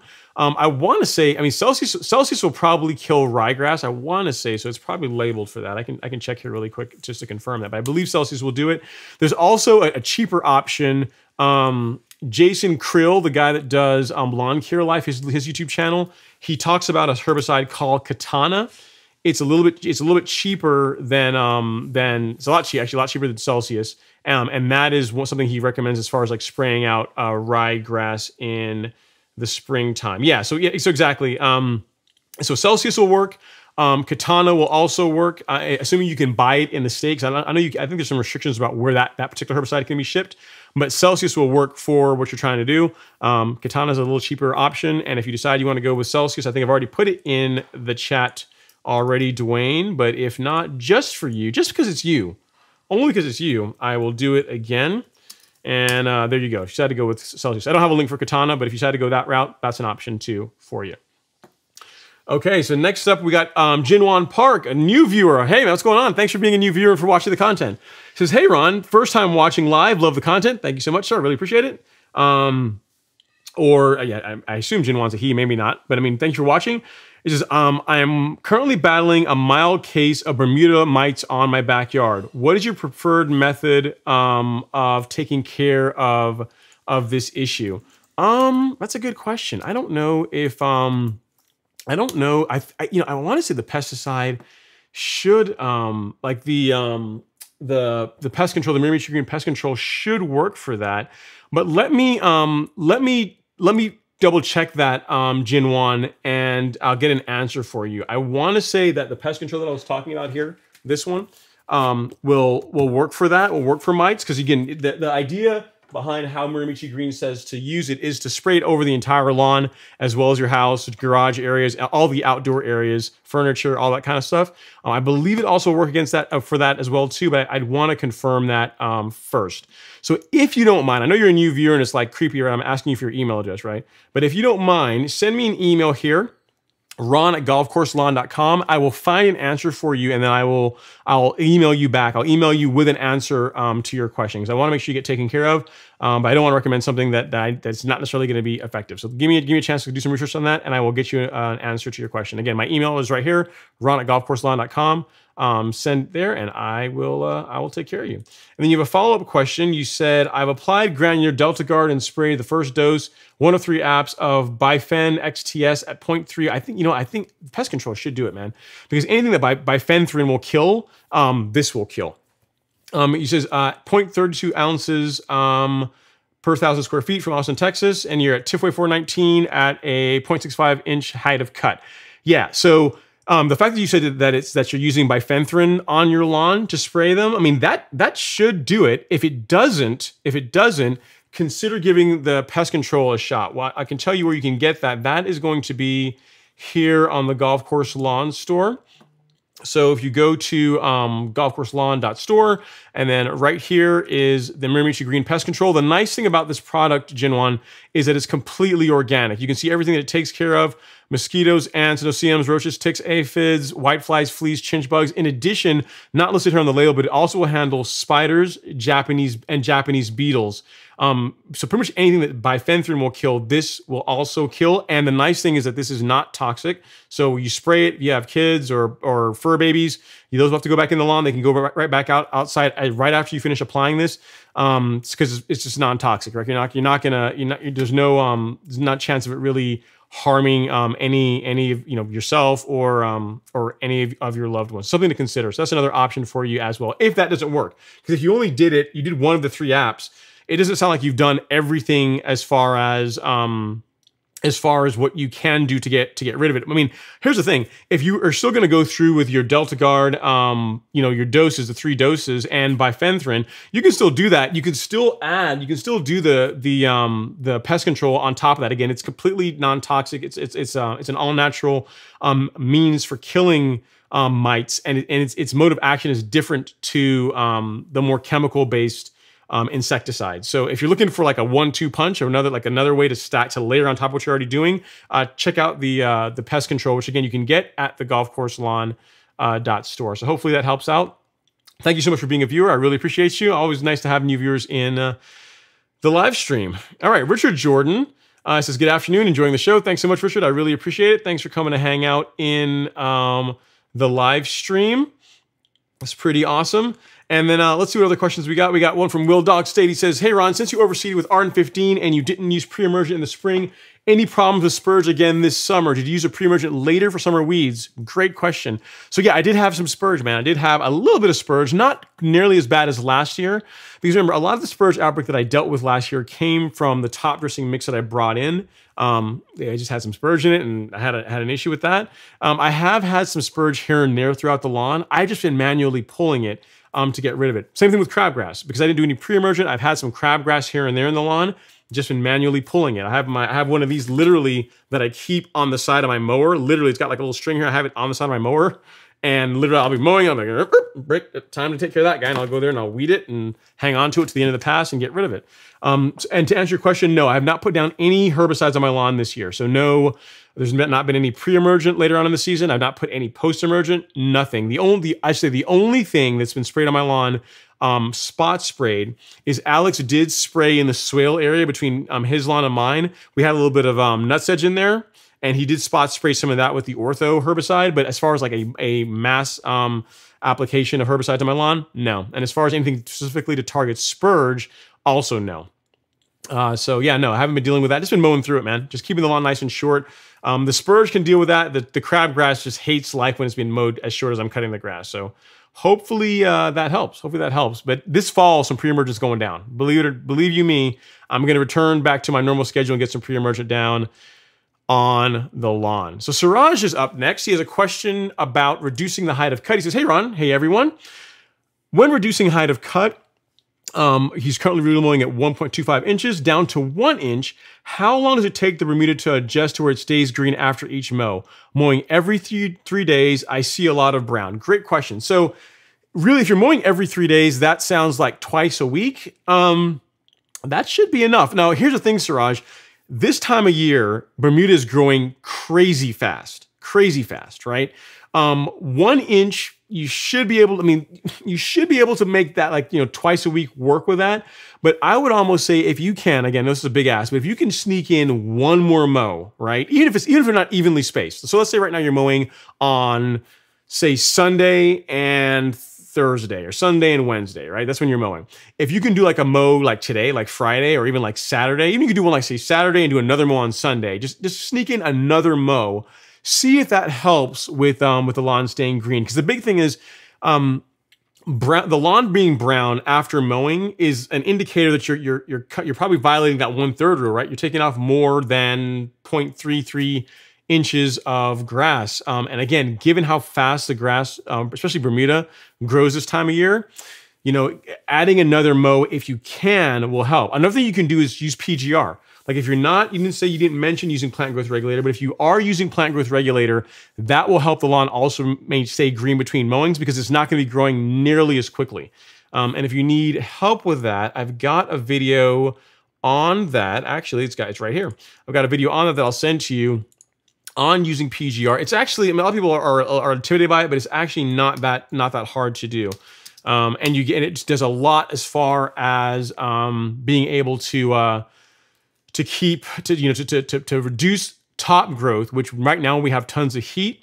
Um, is going to reduce the amount of scalping you get in the lawn. You, are just not going to get the, it's not going to turn brown as often. So I, I live, I love PGR, love, love, love PGR in my lawn. And uh, M Green is here now. He's saying, oh, I'm drinking spiked lemonade. Well, guys, no, I want to take a sip of my lemonade. We're about an hour and change in. If you guys wouldn't mind, we've got, you know, 110 of you here or so in the live stream. If you guys wouldn't mind touching that like button ever so gently. It's free for you guys to do. It's an easy way to support the channel, sends good vibes to the algorithm, and uh, causes more people to come hang out with us here on the show. So I'd really appreciate that while I take a sip of my lemonade out of the official uh, live stream cup. Mm-hmm. All right. So next question we have up is from Eric Garcia. Eric says, "Hey Ron, happy Friday, happy Friday, uh, Eric." He says, "I can't get rid of the seed heads. Should I scalp?"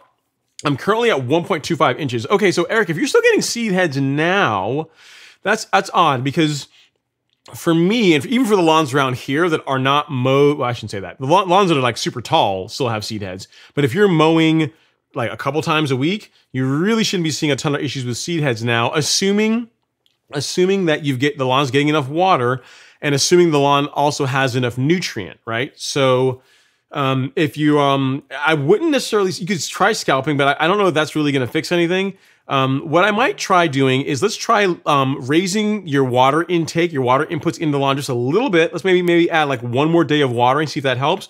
Also, if you've not as yet done a soil test, um, it's something I would consider doing too. The one that I recommend is the one from My Soil. Um, again, these guys are super easy to use. Get your results within a week, and because here's why, right? If if you're mowing regularly, which it sounds like you are, you're mowing probably a couple times a week at least, um, and if you're watering enough and you're still seeing seed heads, um, you might have some nutrient problem, some nutrient deficiency that's that again is causing the turf to see more stress and causing to still to still get seed heads. I haven't had them in my lawn for you know well over a month, a couple of months now almost. Um, and also lawns around here, even the lawns around here, they're only cut like once a week by like lawn care services. None of them really have seed heads either. So um, I would at this point I'd, I'd, say let's make sure that you're putting enough water on it, and also let's get that soil test done. Let's get just just out of a bunch of caution. Let's do that so we can rule out any kind of major um, nutrient deficiency that could be causing the problem. That's the next thing that um, that that I would try. Scalping again, if you want to do it, you can but I don't think it's necessarily going to fix the problem because as soon as the grass grows back, if if we don't correct whatever is causing the turf to be stressed, um, you're just gonna get seed heads again, right? So just something to consider um, on that front. All right, um, great question, Alex B. Thank you so much, sir. I appreciate that. He says, "Let's get some likes for Ron battling internet demons and intense heat this week." Yes, still doing a live for us, man. I'll tell you, I was hot. I was irritated. Like of all times this week to go and dig up my lawn and like knock out the internet, like why they couldn't do it tomorrow or even like earlier in the week so there's time to fix it. Literally an hour before the live stream is when this happens. It could not have been worse time. Well, that's not true. It could happen right now. That would be worse. That's the only thing that would be worse than them doing it an hour before the show, them doing it right now. That's what would be worse. So silver lining, right? Things can always be worse, no matter how bad they may seem to be. Uh, can always get worse. But yeah, I appreciate it, Alex. Yeah, likes would definitely likes definitely go a long way. I really, really appreciate it.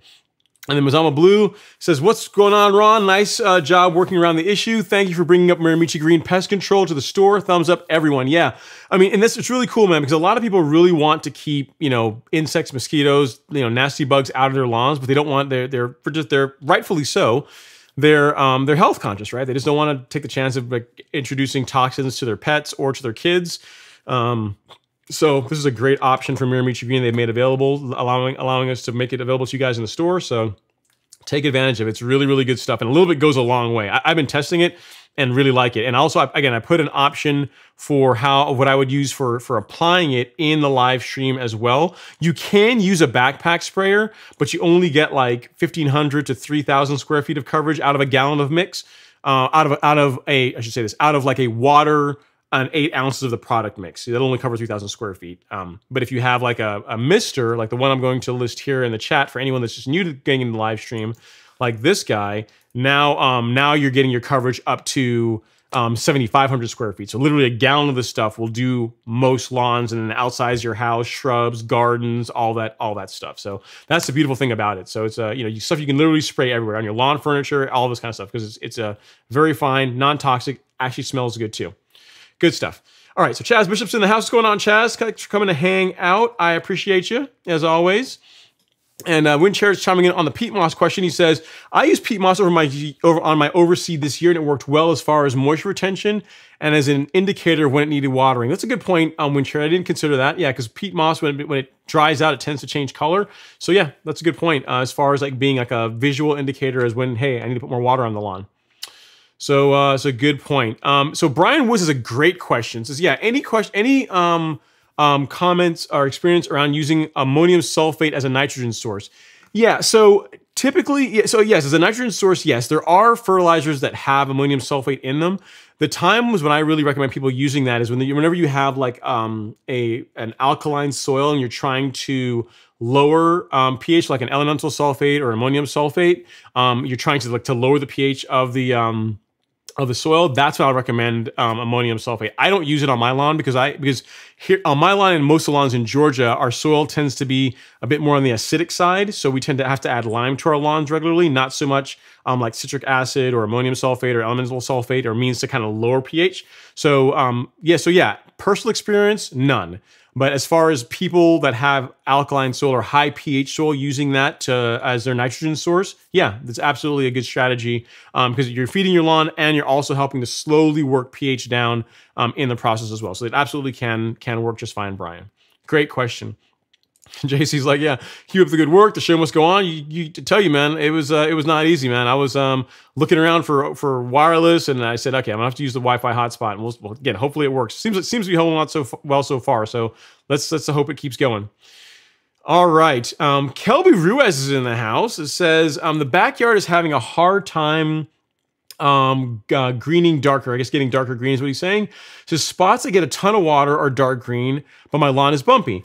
Already spoon feeding and adding Milo about four weeks ago, trying not to use liquid iron. Okay, so here's the thing I'd say this, Kelby. If you're having parts of your lawn that are responding well to having more moisture, right? So you um, you're saying that the areas that are getting more water are darker, um, and maybe areas that are getting less water aren't as dark. What that's telling me is that if we can figure out a way to keep a little bit more moisture in the soil, um, you know, we can perhaps even things out a bit.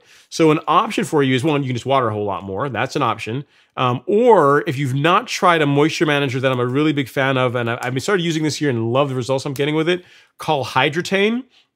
Um, that is something uh, you can consider.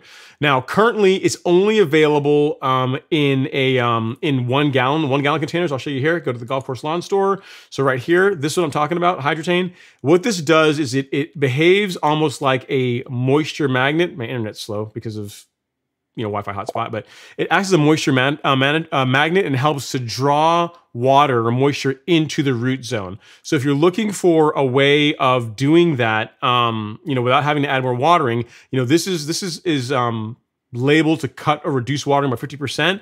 Um, and it, I, I, absolutely do, do believe that. Like I've been using it in my lawn. I haven't had to put a ton more water on it and it still looks great.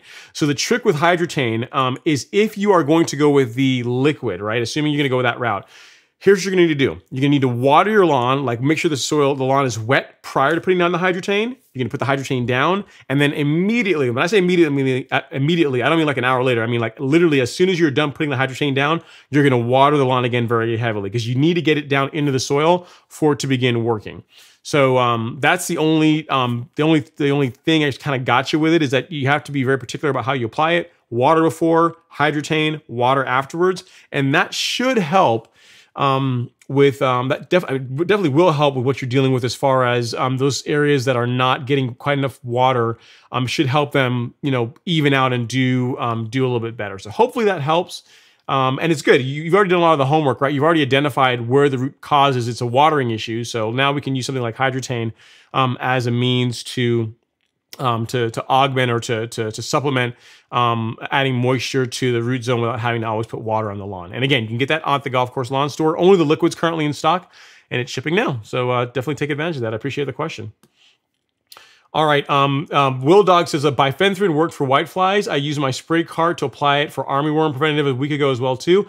Great, great stuff. Um, Will Dog. Yeah. So that's another thing that's not on the label for this, but I did confirm with um, with Mirimichi Green that it will absolutely work for. So um, the the pest control, the non toxic pest control, um, will work for whiteflies. So that's actually on the label, but it will also work for armyworms. It will control armyworms if you apply it at the heavier rate. So the application rate for the pest control is anywhere between um, I think it's four up to um, up to eight ounces. So if you're dealing with um, armyworms, you want to go at that heavier eight ounce per one gallon rate. Um, and that should that should knock them out. That should smoke them out with no problem as well. So if you start finding that the bifenthrin is not working as much, that you're starting to get some resistance to it, like your mosquitoes are not dying off like they used to, um, consider going with this because they cannot form because of the way this works. The insects can't can't form a resistance to it, so it's always going to work. You can use this in, in concert with any other um, insecticides that you're using as well for even you know even greater efficacy. So something to consider. All right, two Trilla is in the house. He has a question about or a point about Caravan G. He says, Hey, Ron, thanks for the link last week for the Caravan G. My question is we just put down our final fertilizer. Is it okay to put down the Caravan G now or should we wait? And if so, how long? Uh, no need to wait. You can put it down right now. Um, you can put it down tomorrow if you want. Nope, no issue at all. Once you put it down, you're going to want to water it in. So if you've not, um, you know, if you just did your fertilizer, and you've not watered the fertilizer in as yet, and you didn't say, but um, if you've not watered in as yet, put down the Caravan G and then water them both in. If you have, put down the Caravan G and then um, water it in to activate it. You don't strictly have to. It's not like if you don't water it in, it's not going to work. Just whenever it rains, it you know it needs it needs to get down into the soil to begin to begin doing its thing. So if it's going to rain, great. That's you got it watered in for free. Um, but if you want to like get it get it down and get it activated and working as soon as possible, um, you know you're going to want to put some water on it after applying it. So great uh, question. All right, Green M says, "What is the price on that item there? The price on the um, on okay. So if you're asking me about two things, if you're talk, talking about the Hydretain, the Hydretain, you can see the price. It's seventy four 99 on the golf course lawn store. And then um, for the pest control, it comes in two sizes, one gallon at 109 $109. And then for if you have a, if you want like a ton of it, um, 2.5 gallons, that is going to set you back um, $229. But let's see, from a coverage standpoint, if we take 128, I can do the math for you real quick. We take 128 and divide that by eight, and then so it's 16, then we multiply that by 7,500. So one gallon, let's see here. So 16, make sure I, I get this right. So 16 times uh, 7,500. And what you get from that is um, 120,000 square feet. So one um, bottle of this will cover up to 120,000 square feet. So it's it sounds expensive, but it's actually not that much when you think about the kind of coverage um, you get out of it, and considering the fact that it's also um, a green product. As far as it being you know safe for you safe for your pets safe for you know you can literally re-enter right afterwards. Um, so yeah literally most people will buy one of those and it's they're going to be good for an entire season. Even even if they're applying it um, every three weeks every three to four weeks as is recommended um, you know one gallon is good for an entire season for most people. Even on my lawn i think one gallon would be plenty for an entire season. So hopefully that helps um, with your question uh, Greena. and again it's in stock and shipping right now today on the golf course lawn store. So see Alex and Winchard are going back and forth about um, top dressing questions. And now we have a question from Lance F. He says, Hey, Ron, it's Friday. It is Friday. He says, Hey, buddy. He says, yeah, buddy. His question I have what looks like blue patches scattered throughout my Kentucky bluegrass. Um, can you send me a picture of it? I'm not sure what to, what to make of that one. Um, I will do my best to help you out, but if you can, um, Lance, send me an email here, ron at golfcourselawn.com. Shoot me an email with a picture of um, the blue patch. T send me at least two pictures. One like close up so I can see like what it looks like close, and then a little bit further back where I can see like the color of the lawn, um, and also the blue patches you're talking about. Just see like the size of them and how the color compares, and then I'll be able to um, get an answer for you.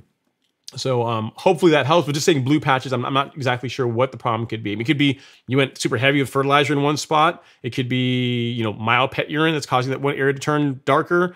Uh, it could be a lot of different things. So um, send me a picture and I'll be able to uh, to get you an answer. And we got a a uh, super chat from the man, the myth, the legend, um, the friend and uh, friend and, and um, constant supporter of the live stream, Mr. Josh B. Super chat received. He says, "Happy Friday, bud. Hope you had an awesome week. We appreciate you. I'm having a great week. Friday, about an hour and a half ago, two hours ago, was not great, Josh. My internet um, got cut out, so I'm I'm on my backup right now. So hopefully, it holds out for us at least for as long as the live stream goes. Right? Hopefully." Let's let's hope. But but all things considered, it's great times. We're talking about grass, and uh, should be a good time. Should be a great time. All right, so Scott R has a question or talking about like top dressing. You guys remember because our theme set is top dressing. He says about top dressing and then like application rate of top dressing mix. He says, uh, "What's up, Ron? I've heard one ton of sand per um, thousand square feet. Yeah, I think one cubic yard, which is about a ton. Yeah, thereabouts. A cubic yard per thousand square feet. But I called a company and they wanted to drop 25 tons on 8K. Sounds excessive. Thoughts? Yeah, that sounds like a lot. Um, yeah, that does sound like a lot uh, to me, um, Scott. It does. Um, ask them. Here's the thing, because weight. Okay, so when, when I say when I say a cubic yard, I'm talking about like from a volume perspective. Um, like one yard, one cubic yard. We're talking about volume is is about what's right for 1,000 square feet. Now, 25 tons over 8K could be right depending on what they're using. If they're using just a straight sand, like sand is really heavy. Like sand is a lot heavier than top dressing mix. Like a sand and soil blend is like way lighter than just straight sand. So if we're just going straight by weight, I'd have to know what kind of material they're talking about um, because it might be close to right. You know, if it's just straight sand, sand by weight is is, is much heavier than the top dressing mix. I would, here's what I would do. I would call them up and ask them, hey, how much how much cubic yards are we talking about here? So I know you're talking in tons. Like let's let's make this a volume question. How many cubic yards are you guys planning on putting down uh, over my um, 8,000 square feet? Because you know your your goal should be around eight yards for 8,000 square feet. Now, if that eight yards ends up weighing 25 tons, so be it. Um, but I, I, would ask them it more on the on terms of volume than weight, because depending on what they're using, the weight could be different. If it's if I mean the sand's got a lot of water in it, it's going to weigh a lot more, right? So um, ask them ask them um, like from a cubic yard perspective how much material they want to use, and then that should um, that should get us a little bit closer to figure out how much stuff they're going to be bringing. hopefully that helps. Great question. Great question. All right. Um, Alex B says a natural, seemingly very benign pest control is definitely for me. I will be trying that out, especially since I have a few dogs and numerous young nieces and nephews that often come over. Yeah, it's perfect for what you're doing, Alex, because because literally the, the thing about this when I I, I got on uh, you know talking to Mirimichi about it and says, you know, so when you guys say can that people can re-enter after a, a spraying it, they talk about like a couple hours later, or say, nope, literally, literally, you can you put the stuff in a fogger or a mister, spray it, apply it to your lawn, and literally after it's like done, it's like it's settled down, you can re-enter. As far as like the PPE you should wear when you're using it, um, all I recommend, I mean, you can you can wear glasses, um, mainly because like it's got some soaps in it, and if you have you're spraying like up high or a window up high, and the wind blew some of it back into your eyes, it might irritate your eyes. Again, it's not going to cause damage, but it could irritate your eyes. Um, and then just also out of an abundance of caution, if you want to wear a mask while you're applying it, you can do that as well too. Just so you're not inhaling like soap um, the particulates because if you're using a fogger, it gets very, very fine.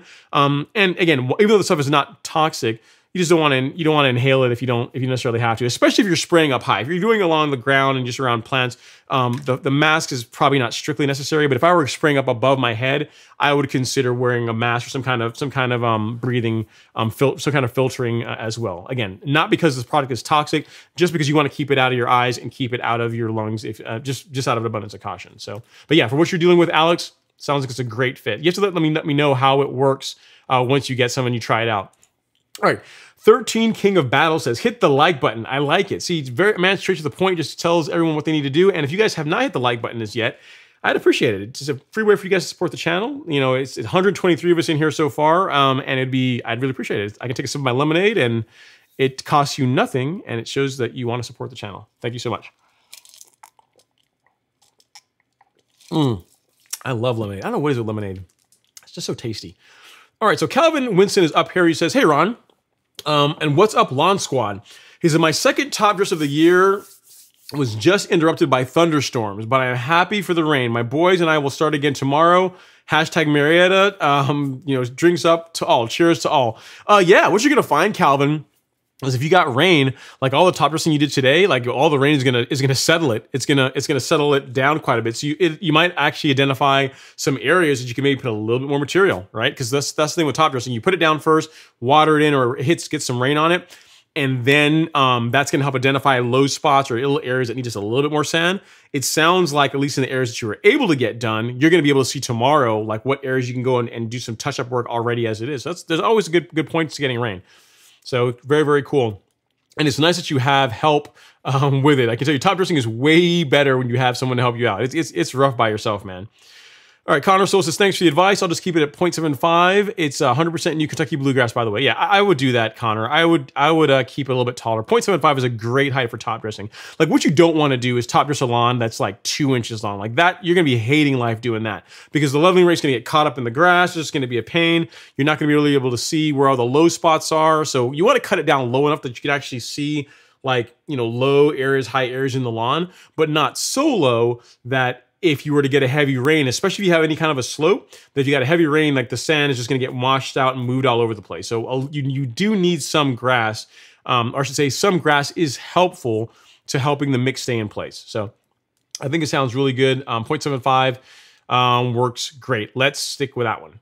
All right, so Lamont Smith has a question about, um, or Stith, sorry, Lamont, Lamont Sti, uh, has a question about um, soil testing. He says, Ron, once you have a soil test done, when will the next soil test need to be performed? What are the intervals? So you get different answers on this. I think at a minimum, for me, I would do them twice a year. I would do one at least once in the spring, the start of the season, and then another one in the fall at the end of the season. Here's why in the spring when you do it before the growing season starts it kind of it lets you know like what our nutrient deficiencies are like. Um, you know if you need to if, if you need it helps you kind of work out your fertilizer program for the upcoming season. Again i'm answering this if you're dealing you have warm season grass right? So you you do your soil test in the spring and the one that i recommend is the one from my soil. So if you're in the market for a soil test it's super easy to use and results that anybody can read and interpret and um, you know make sense of. Highly recommend this one. They're again available at the golf course lawn store um, so you get your results back. It's going to give you the answers to the test as far as what you need to put on your lawn in the springtime. The reason why I also recommend doing one in the fall is because it allows you to see if what you did throughout the season, like how that worked, like how, how effective was it.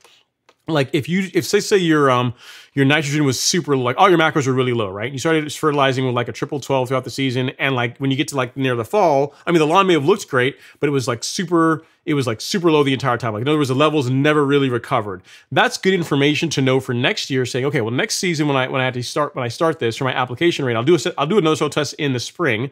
But if the numbers look similar i know i could probably go maybe a little bit heavier um, as far as that particular set of nutrient to try and to kind of raise um, the levels a bit. So I like in the spring to know what to do, and then the fall to see to test the effectiveness of it. I personally soil test every three months. I did it starting last year, and I've just been sticking with it. I don't really need to at this point, but I do it because I like the data. I like to see how the so how the how the lawn changes throughout the season.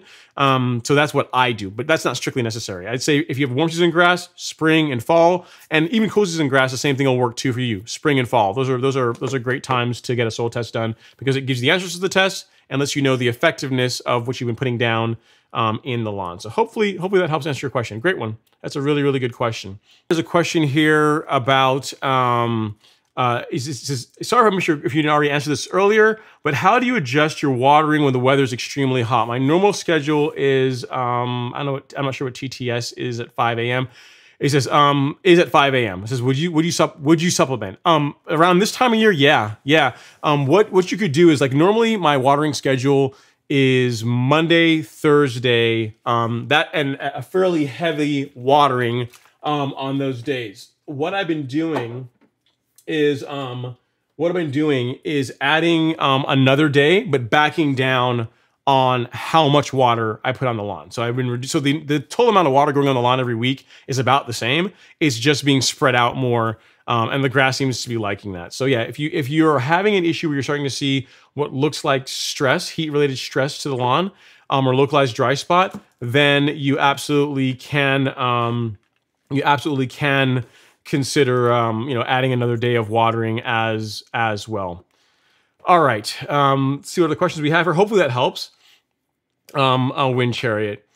And it says, um, let's see what other questions, uh, what other questions we've got going on here. So Dwayne has a point about um, um, a back portion of the lawn. He says, uh, towards the back portion of my lawn, I have Bermuda with a live edge against a small bed of pebble rocks. My Bermuda keeps growing over into the pebble rocks. I have used um, Roundup in the past. Okay, so I guess the question, um, Dwayne, is how to keep the Bermuda out of your out of your beds um, you're going to need some kind of a physical barrier. Um, actually, one second here. Um, let me do this. I got to um, answer answer a question. Um, uh, um, okay, so uh, as far as the, the, the, way the way to keep it out of your out of your beds is a physical barrier. You can spray Roundup, like that's going to work, but it's just you're really just temporarily knocking it back. Because remember, Bermuda, um, it's very aggressive and it grows both above ground, both um, stolons, like the, the, the runners you see above ground, and it also has um, uh, rhizomes as well. So the so runners that run under the ground. So what you're going to want to do, Dwayne, if you're trying to keep them out as much as possible, if you can get some kind like of a metal plate or some kind of barrier that you can put eight inches or so into the soil, um, into the like uh, between the lawn and this bed, that should do the trick as far as, um, or should, should, seriously reduce the amount of Bermuda that, that encroaches into uh, into your beds. The Roundup will work, but you're going to be playing whack a mole. It's just, it's going to be a constant um, cat and mouse game where it's going to um, it's going to consistently keep coming back. It's not like Roundup is just going to knock the, the Bermuda back temporarily, but it's going to grow back again. So a physical barrier really um, is the only is really the only uh, way to go with that. Okay. So let's see what other uh, what other questions um, we have here. Um, so um, Shamari McGee has a question um, from Newnan, Georgia. It says, I just moved into a new home in Newnan, Georgia. A lot of red clay. Do I need to teal it, then throw? I'm not sure what the question is. Um, Shamari, if you can um, add a little more context, I'll be able to answer you, but I'm not sure what you should do. I mean, as far here's the thing: as far as red clay, I can just ask you, tell you what I would do with a red clay lawn. So you just moved in um, the the house it sounds like an existing lawn has lots of red clay. If you're trying to improve it, Um, red clay tends to not drain very well as far as like if you get a heavy rain, it just kind of sits on top of the lawn. So if you've not done an aeration this year as yet, uh, Shamari, that's something you might want to consider doing. You may do it yourself or you can have a service do it for you. That will help improve, um, that's gonna do a lot for your lawn. It's gonna break up compaction, it's gonna improve drainage. Um, um, and then if you, uh, as far as things you can do to help improve the quality of your, your lawn as well, uh, you can start um, getting on like a, on a on a granular carbon program. So something that I'd recommend for for, for all lawns, um, but even clay, especially clay soil lawns, is a product called Essential G. So I'll show you here. If you go to the golf course lawn store, this product is something that you can apply to your lawn pretty much year round as long as it's not frozen. And in Newnan, let's face it, in Newnan, Georgia, you're never going to get the, the ground's never going to freeze. Um, so go ahead and apply something like that to your um, to your soil and um, and and to, to your lawn regularly. That's going to help improve the quality of it, along with a good aeration. Um, and then you're good to go. I mean, outside of that, the next thing I would recommend is get a soil test done if you've not done one as yet. That's going to let you know what the soil is lacking, if anything, and then you can build your fertilization program around um, the soil test data. So without having your entire question, I'm just giving you like some general guidance of what I would do for someone that moves in a brand new lawn that happens to have um, that good old red Georgia clay. Uh, yes, and then uh, and Scott saying, yeah, that's thanks, Alex B. Um, that's what I thought. This is a professional lawn service making a recommendation for 25 tons. Yeah, I mean, they, they they're quoting you by by uh, weight, Scott, so they may not be that far off. You know, if they're doing 100% sand, again, sand is really heavy. So I would ask them from a volume perspective of how much they're, um, you know, what they're trying to put into the lawn. All right. Um, so let's see uh, what other questions um, uh, we got here. So, we, so Dwayne says, yeah, but it affects. He's tried it, but it affects the edges, which I don't like. I have a, I've used a weed whacker, but it makes a mess of the rock. So yeah, kind of like I was telling you, uh, Dwayne, a physical barrier is going to be uh, your best bet. Is your best bet.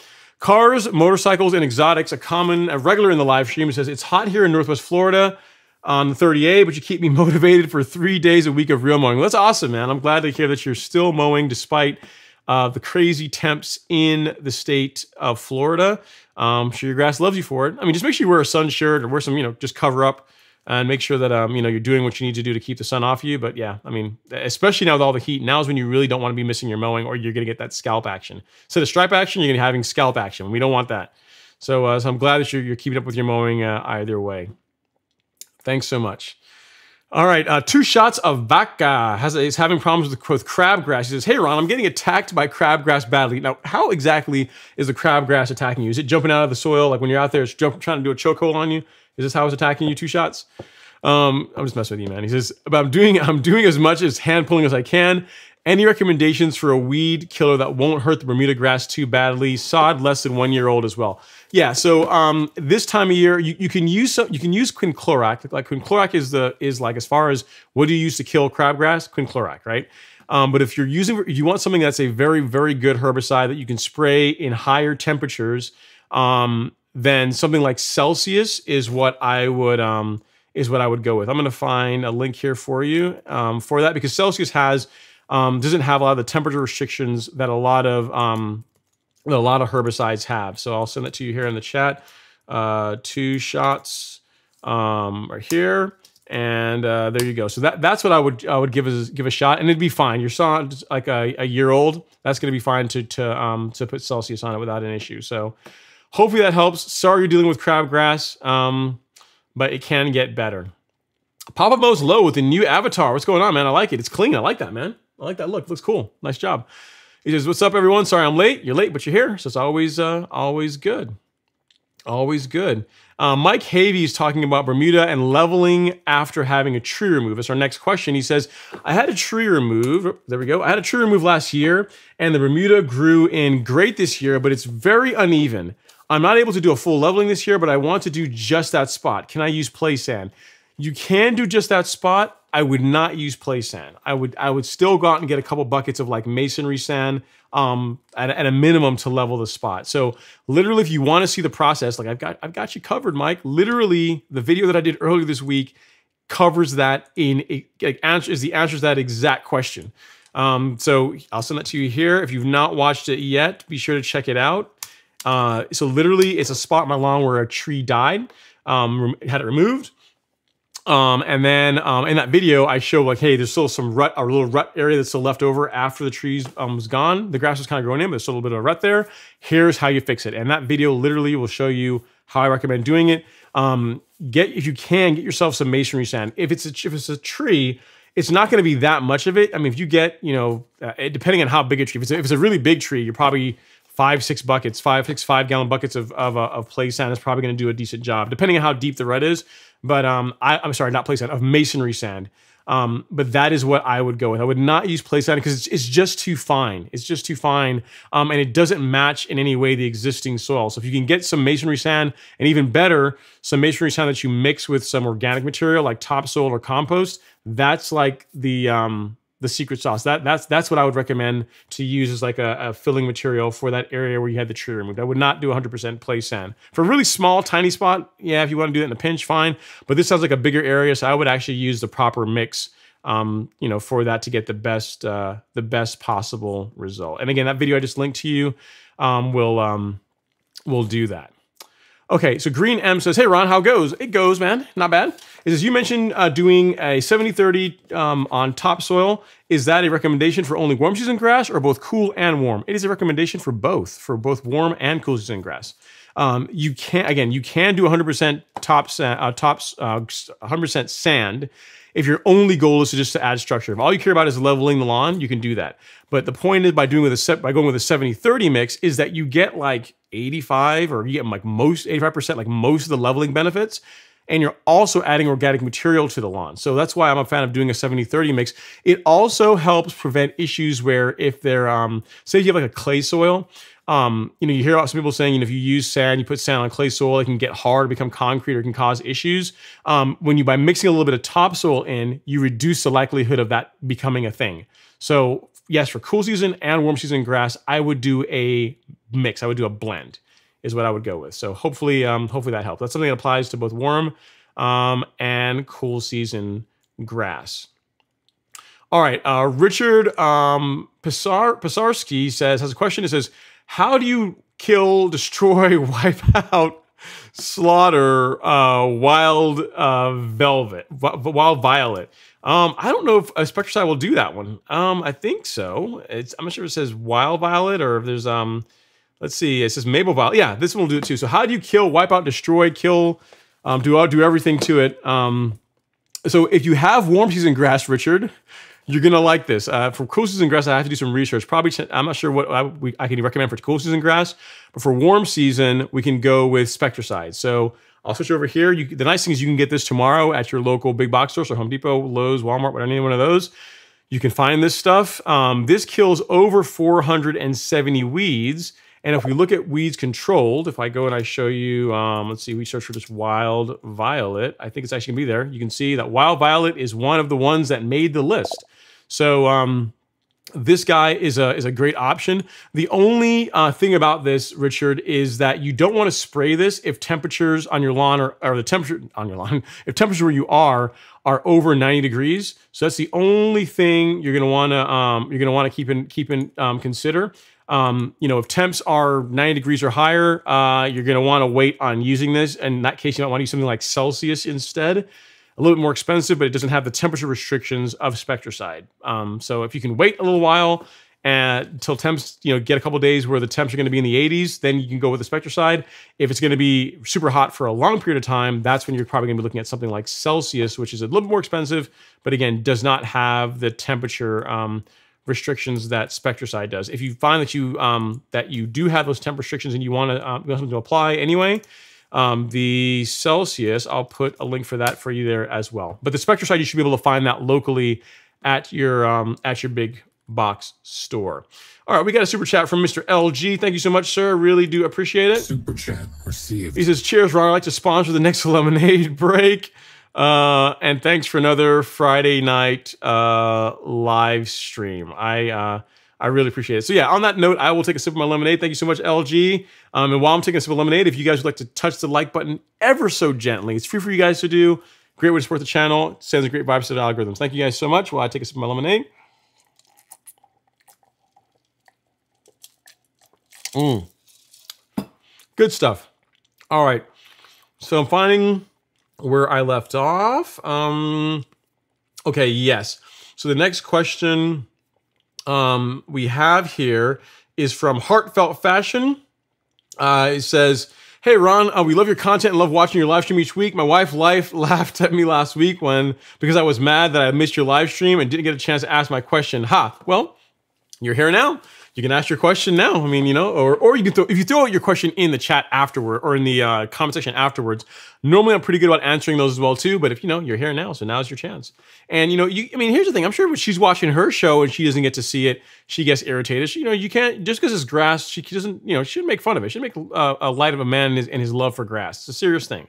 There's, there's there's far worse things you could be doing than watching a live stream about grass. Granted, it's not. I mean, as far as like the nerd factor, it's kind of up there a little bit. But hey, you know, I like it. I like it. I appreciate I appreciate you watching, man. Appreciate having you as a viewer. All right. Uh, Daniel's lawn care is in the house. What's going on from down under? He says, "Hey Ron, uh, good Saturday morning here in Australia. Thanks for coming to hang out." Uh, Daniel, thank you so much. I always appreciate you uh, chiming in on the comment section, and uh, I do watch your videos, man. So keep going, keep going with the content. I really, uh, I really, really do uh, appreciate it.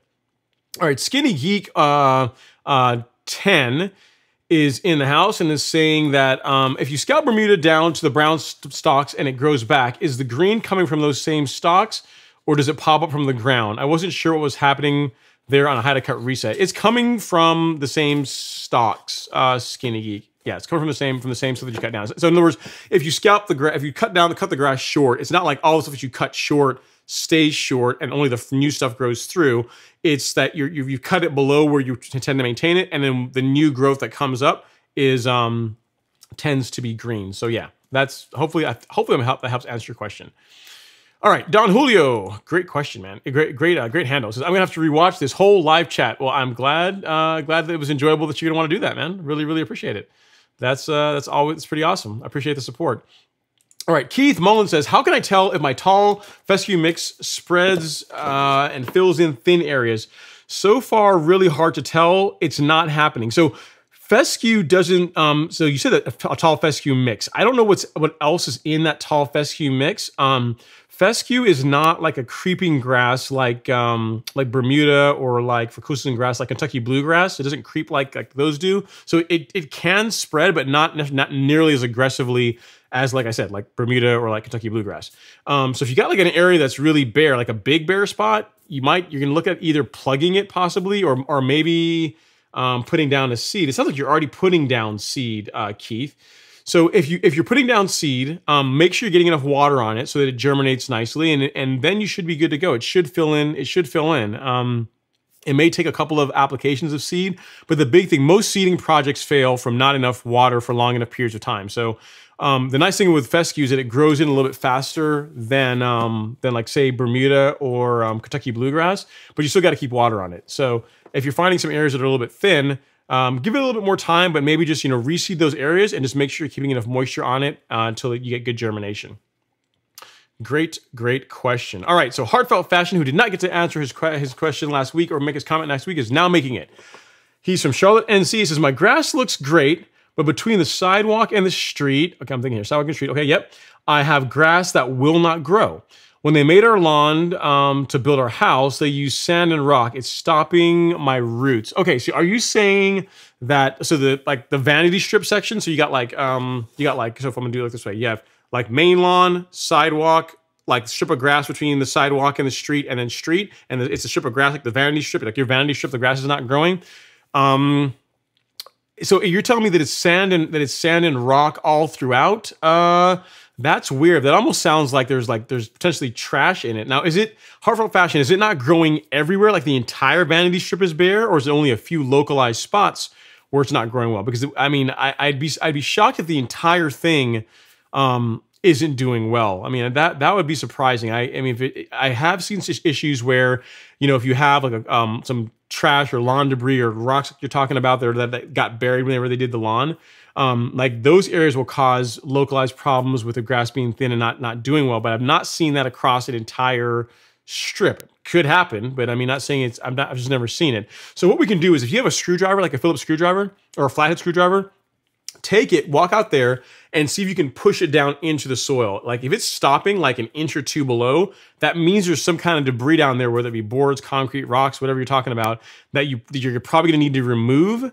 and then you know put some topsoil in there to fill it um, for the grass to do well. I mean, you need really, I like to say eight inches, but really, you know, four to six inches you can probably get away with. Uh, four to six inches of decent of decent soil, the grass will do okay, but more is better. Eight inches or more is is really is really better. Um, the best thing, you, uh, all I can tell you is there's a physical barrier in the soil. You're going to have to remove it. That's going to be the best way to um, to get rid of that, unfortunately. So if, I understand correctly, um, hopefully that helps answer your your question. So hopefully that was uh, that was useful. And thank you for being for being a viewer. See, you you stuck around. You're persistent. You got your question and your comment in, so it's pretty awesome, right? All right. Um, Todd from the Sandhills says, arriving late, got my Essential G down the lawn and used a Scott's reel mower on the front yard along with sending in my soil test. Love the content. Man, you just, you went full tilt, man. You got the reel mower, you got the Essential G, uh, you're out mowing, you got your soil test done. Man, you are, you are not messing around. I like it. You're gonna, and you know what? You're going to get great results from it. Like the more deep, like the thing is, the more you focus on the small things, the better the better result. Like if you major on the small things or, or, focus on getting the small things right in your lawn, it makes it easier for the lawners to do well without without a ton of work. If you do that upfront work of really working on um, on on taking care of those small issues. All right, so Mark Mike Warmbold has a question about pre-emergent. He says, "What is the best pre-emergent for zoysia?" Um, as far as best, there's tons of different options. I can't say necessarily which one is um which what's I mean best best. I mean I'd say I'll give you a couple of common ones probably the most common pre-emergent um, for warm season grass and cool season grass, and mainly because it's very effective. And um, to date, that I've the research that I've seen, there's not like a lot of issues with weeds developing resistance to it. it. Is called prodiamine. Um, or if you go, if you look for the brand name of it, it's called what we called uh, Barricade. That's another name for it. So in the spring and the fall, you can use prodiamine. Um, we have it in stock here on the golf course lawn store. You can actually get a small container like this of it um, that's like this is like 20 bucks and it'll cover 5,000 square feet if you got a warm season lawn. Um, so this is like the very a very very cost effective way if you just want a small amount. You don't have to buy like a huge jug of this stuff and have it sitting around for years. Um, so prodiamine is a great option. That's like an econ. Uh, I would say I hate to say economy option, but it is a is a very cost effective option that works very well. You can also use um, dithiopyr or um, also known as dimension. That's another um, pre-emergent that works well. It also has a little bit of post-emergent properties as far as like being able to kill young crabgrass. And if you're looking now, if you want to get, and, those are the ones that are, I'd say, reasonably priced. Like you're not going to break the bank too much buying those. Now, if you want to get into like some of the more more Cadillac pre-emergents, now you're talking about like um, the one that comes to mind is like one called Specticle Flow. Really, really good pre-emergent has like they say up to 10 months of uh, effectiveness but it's super expensive. It's like, you know, it's it's well north of like $300 for a small amount of this stuff. So it's very expensive, works really well, controls, does a really good job controlling um, controlling weeds, uh, but it's also just quite expensive. So for me, if you're just, you know, if you're trying to do your pre-emergent yourself, go with something like prodiamine or dithiopyr. Those two will work well. If you got you got a, a bit more budget, you can try out um, some Specticle Flow. If you want something that I'm um, something I'm going to be trying out this year myself this fall, um, Mike is a, is a, is a pre-emergent called Coastal. And it's not strictly a pre-emergent. It's got prodiamine in it as a pre-emergent, and it also has two other active ingredients. It's like I think it's simazine and um, it starts with an I. I think it's a imazaquin. So it's got two post-emergents, and then prodiamine is a pre-emergent. And the idea behind this, the thinking behind this one, is that it's going to kill any Poa annua that is beginning to germinate in the late fall. Um, and then you have the prodiamine to carry you as a pre-emergent into the spring. And then with the testing that's been done um, by this professor of uh, of ag, I forget which professor it is, but I think his first name is Bert. I forget his last name, but it's Bert. Um, uh, it works really well with some of the really high dollar for um, herbicides, right? As far as like as far as like comparing like um, um, coastal that, that blend against like um, Specticle Flow, they got equal results for a much more economical price. So that's what I'm going to be trying out this year on my lawn. So gives you a couple couple, a couple different options. Hopefully that helps. Um, but yeah, big thing is just get a pre-emergent down. You definitely want to do that. Get a pre-emergent down on your lawn uh, before um, before uh, you know you have issues um, in the springtime. It'll, it'll save you a lot of headache with, with, with the more expensive post emergence.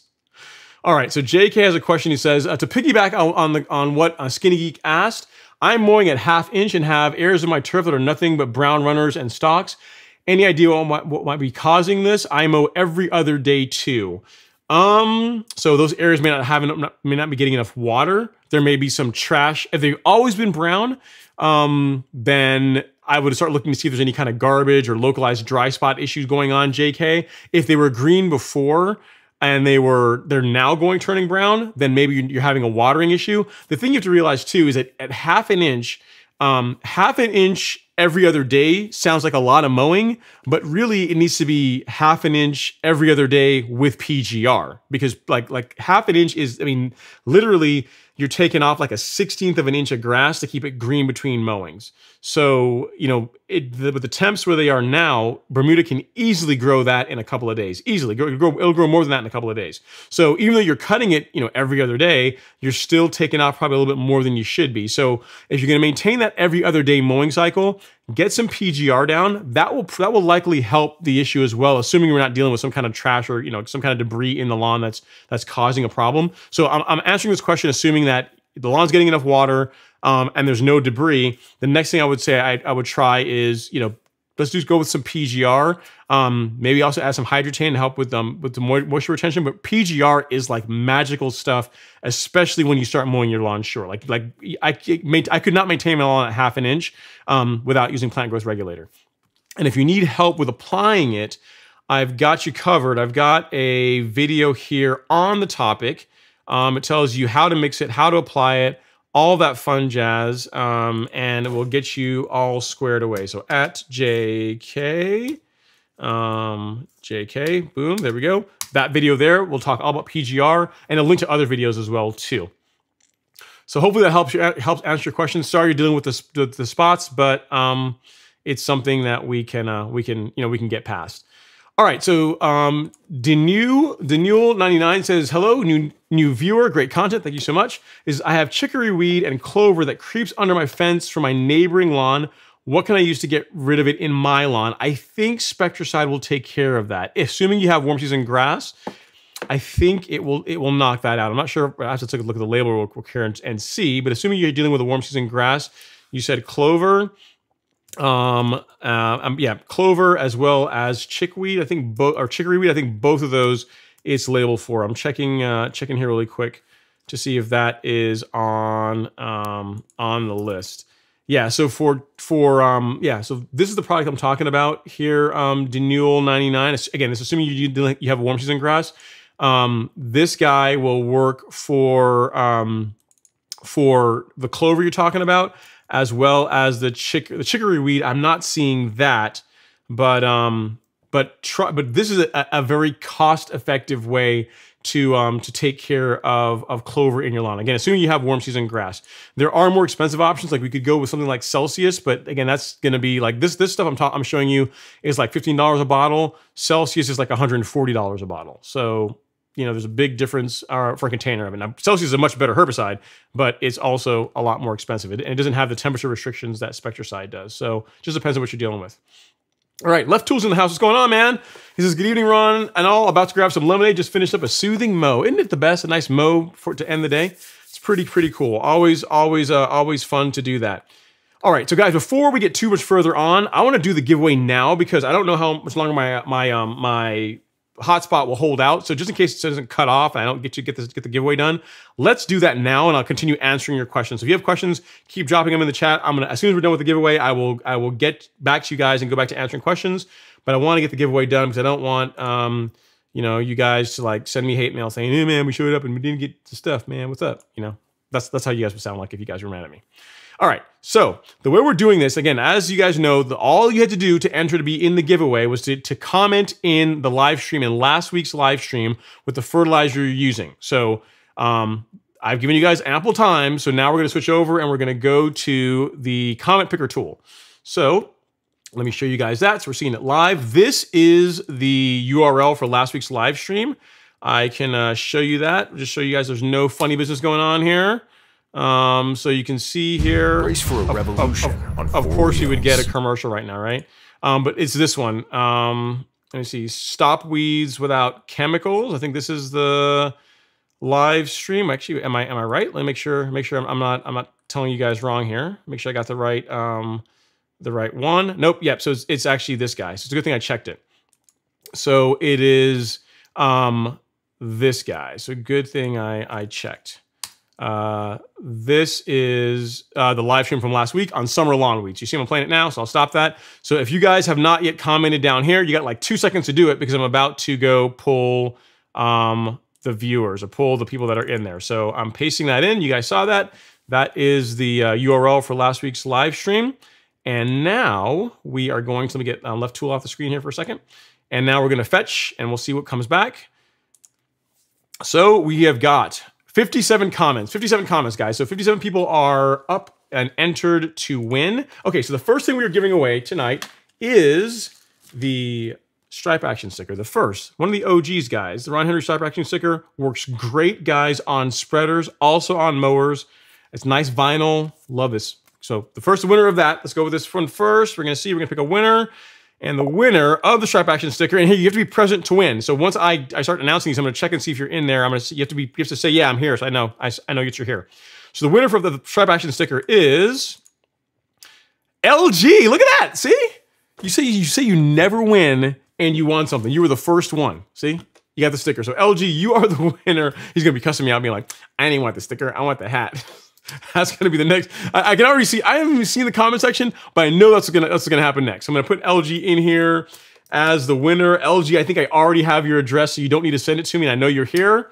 Um, so that one is taken care of. So the winner of the stripe action sticker is LG. All right. Next up is your choice of two of the um, Ron Henry stickers. One of one of the two Ron Henry stickers, um, both um, supplied to us by graciously by Josh Habib. You have this guy, which is the, actually, I'll turn this off for a second so you guys can actually see. You've got the standard white um, Ron Henry's um, live stream sticker, and then you've got the psychedelic um, bling version of the sticker. Also works great on mowers and um, spreaders.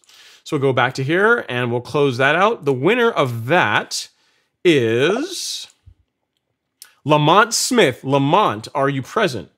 Lamont, please come to the DJ booth. If you don't mind, come up. Let me know if you're in the chat. I'm to scroll down here and see if you are here. Lamont, if you are here, I'm going to have you here in here as a placeholder for now.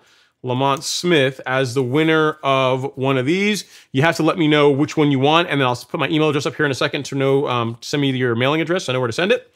So those two are spoken for. And no, LG, you don't really sound like that, but I just I gotta play it up, man. I gotta give you a hard time. You know, here's the thing. You know what? For as hard times you give everybody, you're really sensitive. You know, you're kind of a sensitive guy. You, re you really are. So you know, I'm just I'm just giving you a hard time, man. I'm not I'm not I'm not I'm just messing with you. Do not take what I'm saying seriously. Please don't.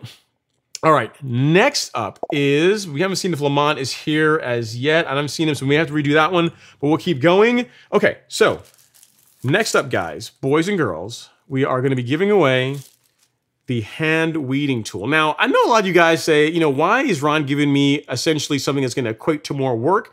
But every serious lawn care person needs one of these. If you don't have one, I'm going to I'm to hook you up.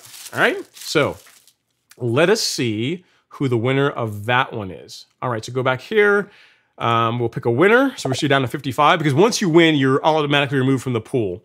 So the winner is Super TA 329. Super TA, are you in the chat? Super TA, please come to the DJ booth uh, to claim your prize. Let me know if you're here. I think I saw you hitting her earlier.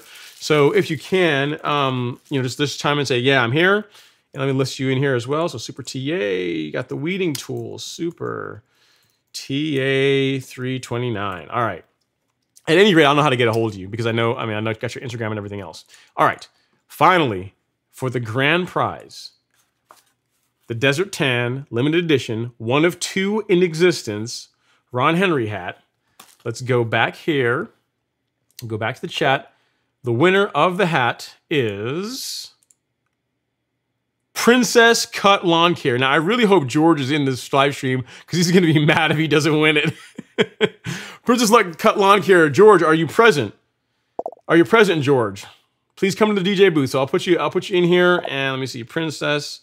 Uh, I'll, I'll, put you down here, Princess Cut Lawn Care. Um, I haven't seen him tonight. Normally he would have chimed if he if he was here. So we might be redoing that one because you got to be present to win. You got to be present to win. Is Lamont here? I haven't seen Lamont. So I've seen LG and I've seen Super TA. Um, but I've not seen George's yet. So we're going to give it a little bit of time and we'll see if he'll pop back in. That's going to give me some time to go back through and get to some more um, questions. So let's scroll back up here. And um, let's see uh, uh, what we got going on here. Uh, Clayton is saying, hey, Ron, I just picked up the pest control. And what um, I was just speaking to Mosquito Joe about fogging the lawn and woods. Very timely introduction. Looking forward to the video. Yeah, man, I'm working on it right now. I want to make it nice and good and as awesome as I possibly can. So my goal is early next week. We'll see if that happens. I need to have internet to be able to upload it, obviously. But I'm going to be filming it this weekend. But yeah, what he's referring to, guys, I don't know what Clayton is talking about, is a product we just recently released on the live stream um, is the is the uh, Mirimichi Green Pest Control. Uh, this is um, a, non-toxic organic uh, pest control that uh, Green made available to us and now is available on the golf course lawn store. So I'll show you guys that where you can pick it up in case you are interested. It is available right here, right next to uh, the golf course lawn carbon kit. You saw I lost all my hats and everything. Everything fell over, so I have to fix it, clean that up when I get done. Show's got to go on. All right. So our next question. Let me scroll down here and see if if, um, if the guys have popped in. I haven't seen. I haven't seen um, uh, Lamont as yet, and I haven't seen Princess. We might be redoing that hat, guys. It might happen. You got to be present to him win. That's one of the rules. You got to be here to win. Okay. Um, coming back up on uh, as far as our as far as our questions go, let's see what we uh, what we got here. Is that uh, one good thing about Ron's uh, live streams is you miss the first two hours, you still got a good one to two hours left. Uh, yeah, you might, assuming my uh, my internet my internet holds out. Pick up my uh, my AccuProducts. See if that stays up there. Um, I have to rebuild my hats when I get done, but oh well.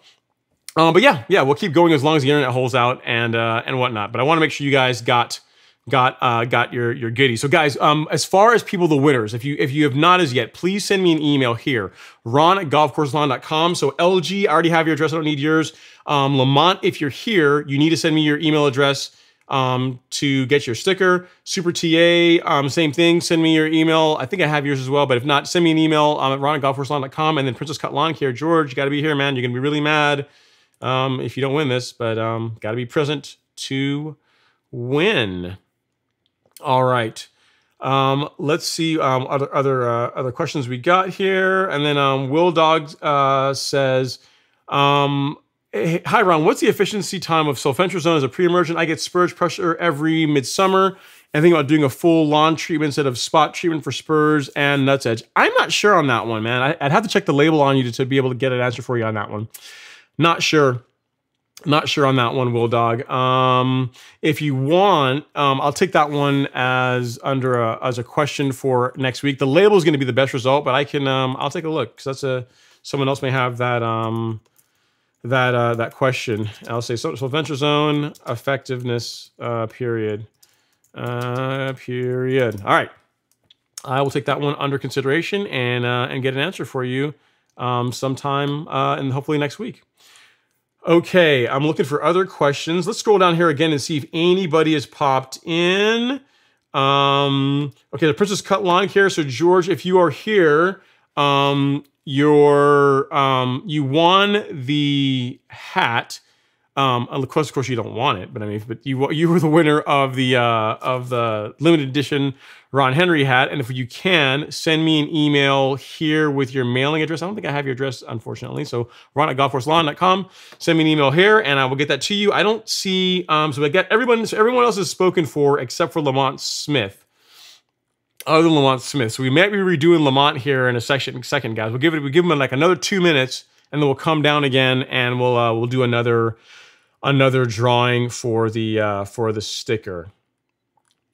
All right. Uh, so we have G Free um, uh, here. He's chiming in. He says, "Hey, I used Spectracide weed and grab and crabgrass killer on some areas of the lawn and spurge, and it got rid of it. I was surprised. Yeah, man, it's good stuff, dude. I mean, seriously. I mean, I know people knock it because it's like cheap and it's like Home Depot stuff, but really, uh, if you look at what's in it, yes, the the the amount of the active ingredients are lower than if you mix it yourself, but it's a good concoction that works well and you know when applied properly. Um, it can be very, very effective. Like just like what you're saying, G Free. So yeah, I'm not I'm not surprised that you got uh, a good result, a good result with it. So um, so yeah, so no uh, no issues. Um, let's see. Let's see what else we got here. Um, oh yeah. So oh, okay. So uh, Walter says, "Oh, the Ron you missed a link for Celsius is for certainty are the same." Uh, no, they're not. Um, actually, let me get you another one. I've got. I think that's. I think that's. Uh, essentially the wrong. Obviously the wrong link. So let me get you one for Celsius. Sorry about that. Um, make sure that this one is correct. Uh, da, da, da, um, yeah. Well, here's the thing. If you, it, all you can do is if you click, if you clicked on that certainty link, just search for Celsius on Do My Own, and I also get credit for it either way. So that will work fine too. Just, um, just, just do that. So I, I don't. I'm surprised. I thought, I thought I had. I'm pretty almost positive I had a Celsius link, but I guess the one that I have, I, um, I put it in incorrectly. Um, but yeah, just just use that link. Go to Do My Own. Just search for Celsius. Uh, um, search for Cel. Actually, you know what? You know, I, I know what it is. Yeah, because Celsius is only on Amazon. That's what that's what the problem is. All right, so yeah, let me let me correct that for you right now. I'll give that. I'll give you a correct link. Give me like two seconds. Two seconds to um to uh to to get that for you. Thanks for letting me know, Walter. I will fix it after the show is over. And so for anyone that was looking for Celsius, that and I sent you links earlier, use uh, this one. This one will work. uh, so at Walter uh, there, and then uh, Celsius uh, herbicide. Um, here you go. That that will work uh, for for you guys. All right. So sorry about that, but thanks for letting me know. And I fix it, and I'm also fixing it in my notes, so it won't be a problem in the future. So thank you so much. All right. So next question we have here is um, from Luis uh, Rodriguez. Great question. He says, "Is um, is urea nitrogen quick release?" Yes. Yes. I mean, here's the thing. There's different types of urea, but straight urea is um is is quick release. Yeah, so there's different types. So if you're talking about um urea that has a 4600 formulation, Louise, that is going to be quick release. That's going to be the stuff you're going to want. When you put it down, you're going to want to water it in immediately after application to prevent burning your lawn. Um, but as far, but there are other types of urea. Like for example, there is um, the methylene urea that Lebanon Turf uses in their Mesa. Um, their Mesa, their, their, their, brand of nitrogen, their brand of, of slow release nitrogen called meth, called methylene urea. Like that is a slower release um, nitrogen. So just because it has urea in the name doesn't make it necessarily quick release. But if you're talking about just straight urea, and again, you'll know it because the formulation will be like a 4600. That is quick release nitrogen. And that's the kind of stuff you have to be very careful when you apply it. You'll put it down and you need to water it in like right after application. But not every not every nitrogen with urea in the name is quick release. Does that make sense?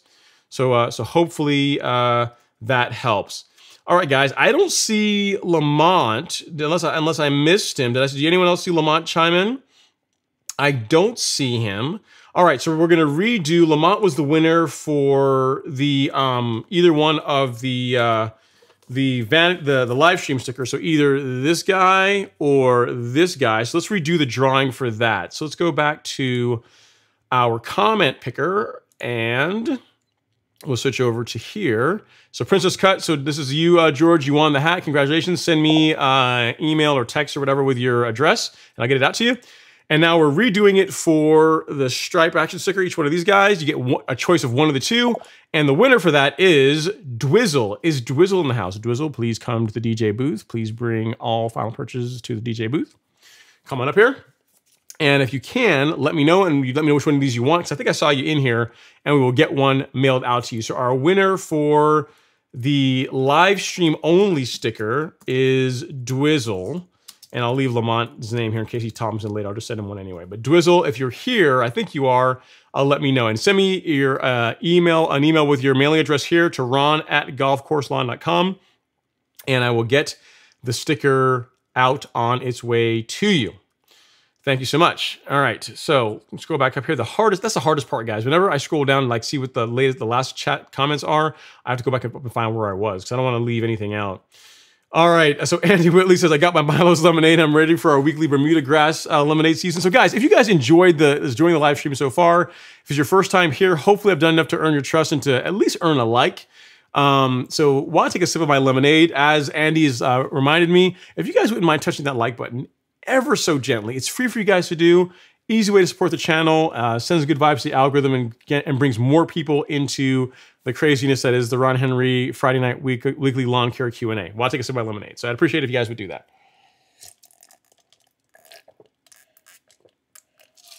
Uh, the best. All right. So the real Canuck says, Ron, I hate concrete. Just saying, new bed knife coming. You know what? I've been there. I've been there. If you want a laugh, if you want, I mean, not necessarily a laugh, but if you want if you want to see that I also have felt your pain, I've been where you are. Earlier this season, I um I did about nine hundred dollars worth of damage to my mower um, by hitting it with concrete. So I mowed. I'm gonna send you two links here so you, for your for your viewing pleasure. Um, uh, the real Canuck. Uh, the first one is where I broke my mower. So at uh, the real Canuck, this is me breaking mower and then the follow up video where you could actually see the recovery, how I bounced back from it.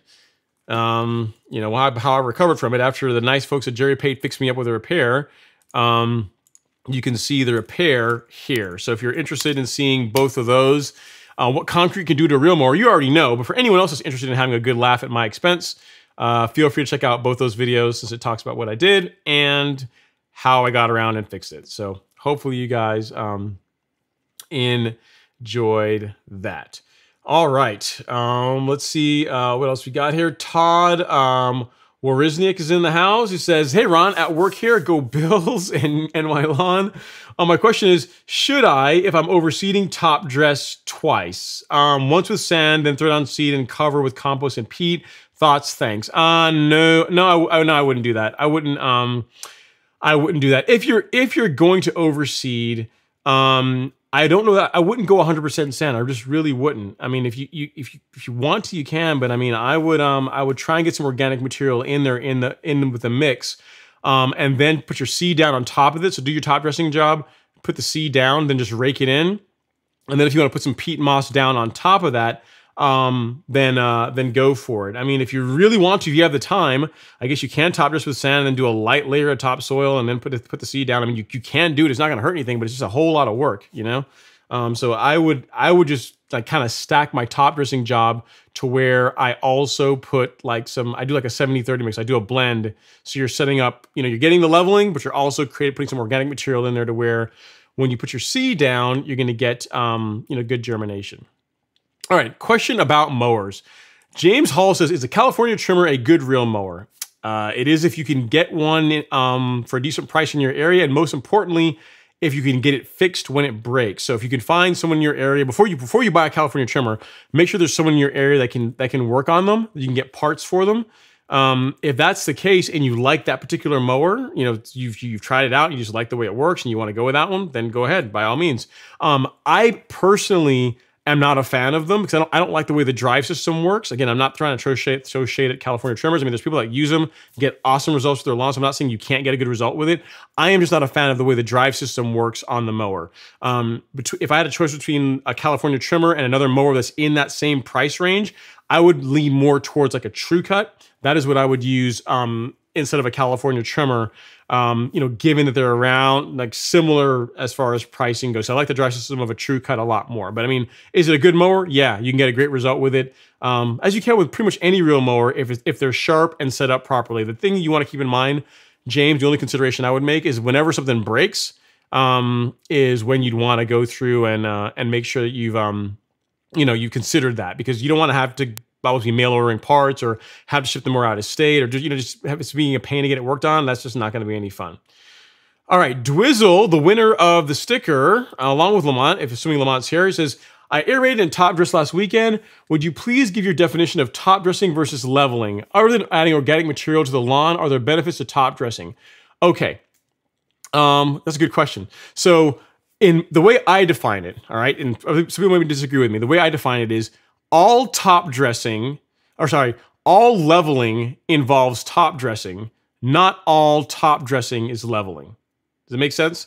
So if you go through and you just top dress your lawn with like um like say just you just use topsoil or compost, right? You are top dressing your lawn. You're putting like you're putting a layer of soil over the lawn, but as far as it being the best medium for leveling, not really not really so right? I mean the thing is and you can also you can also go very super light. Like i mean leveling also implies that you're putting down enough material that you're going to be filling in light um, like lightly uneven spots in the lawn.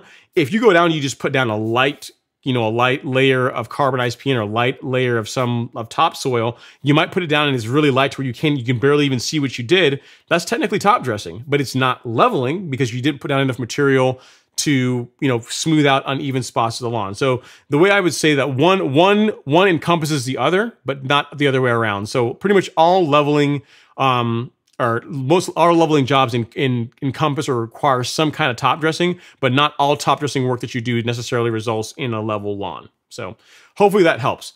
Um, and you said, are there other other organic? Are there other benefits um, to um, to top dressing other than organic um, um, adding organic matter? Yes. Uh, drainage for one. Like for me, like my back lawn used to flood every time it rained. Like literally every time it rained, I used to have like a pool back there. Um, and the, after the first time the lawn was top dressed, it was heavily aerated and then top dressed.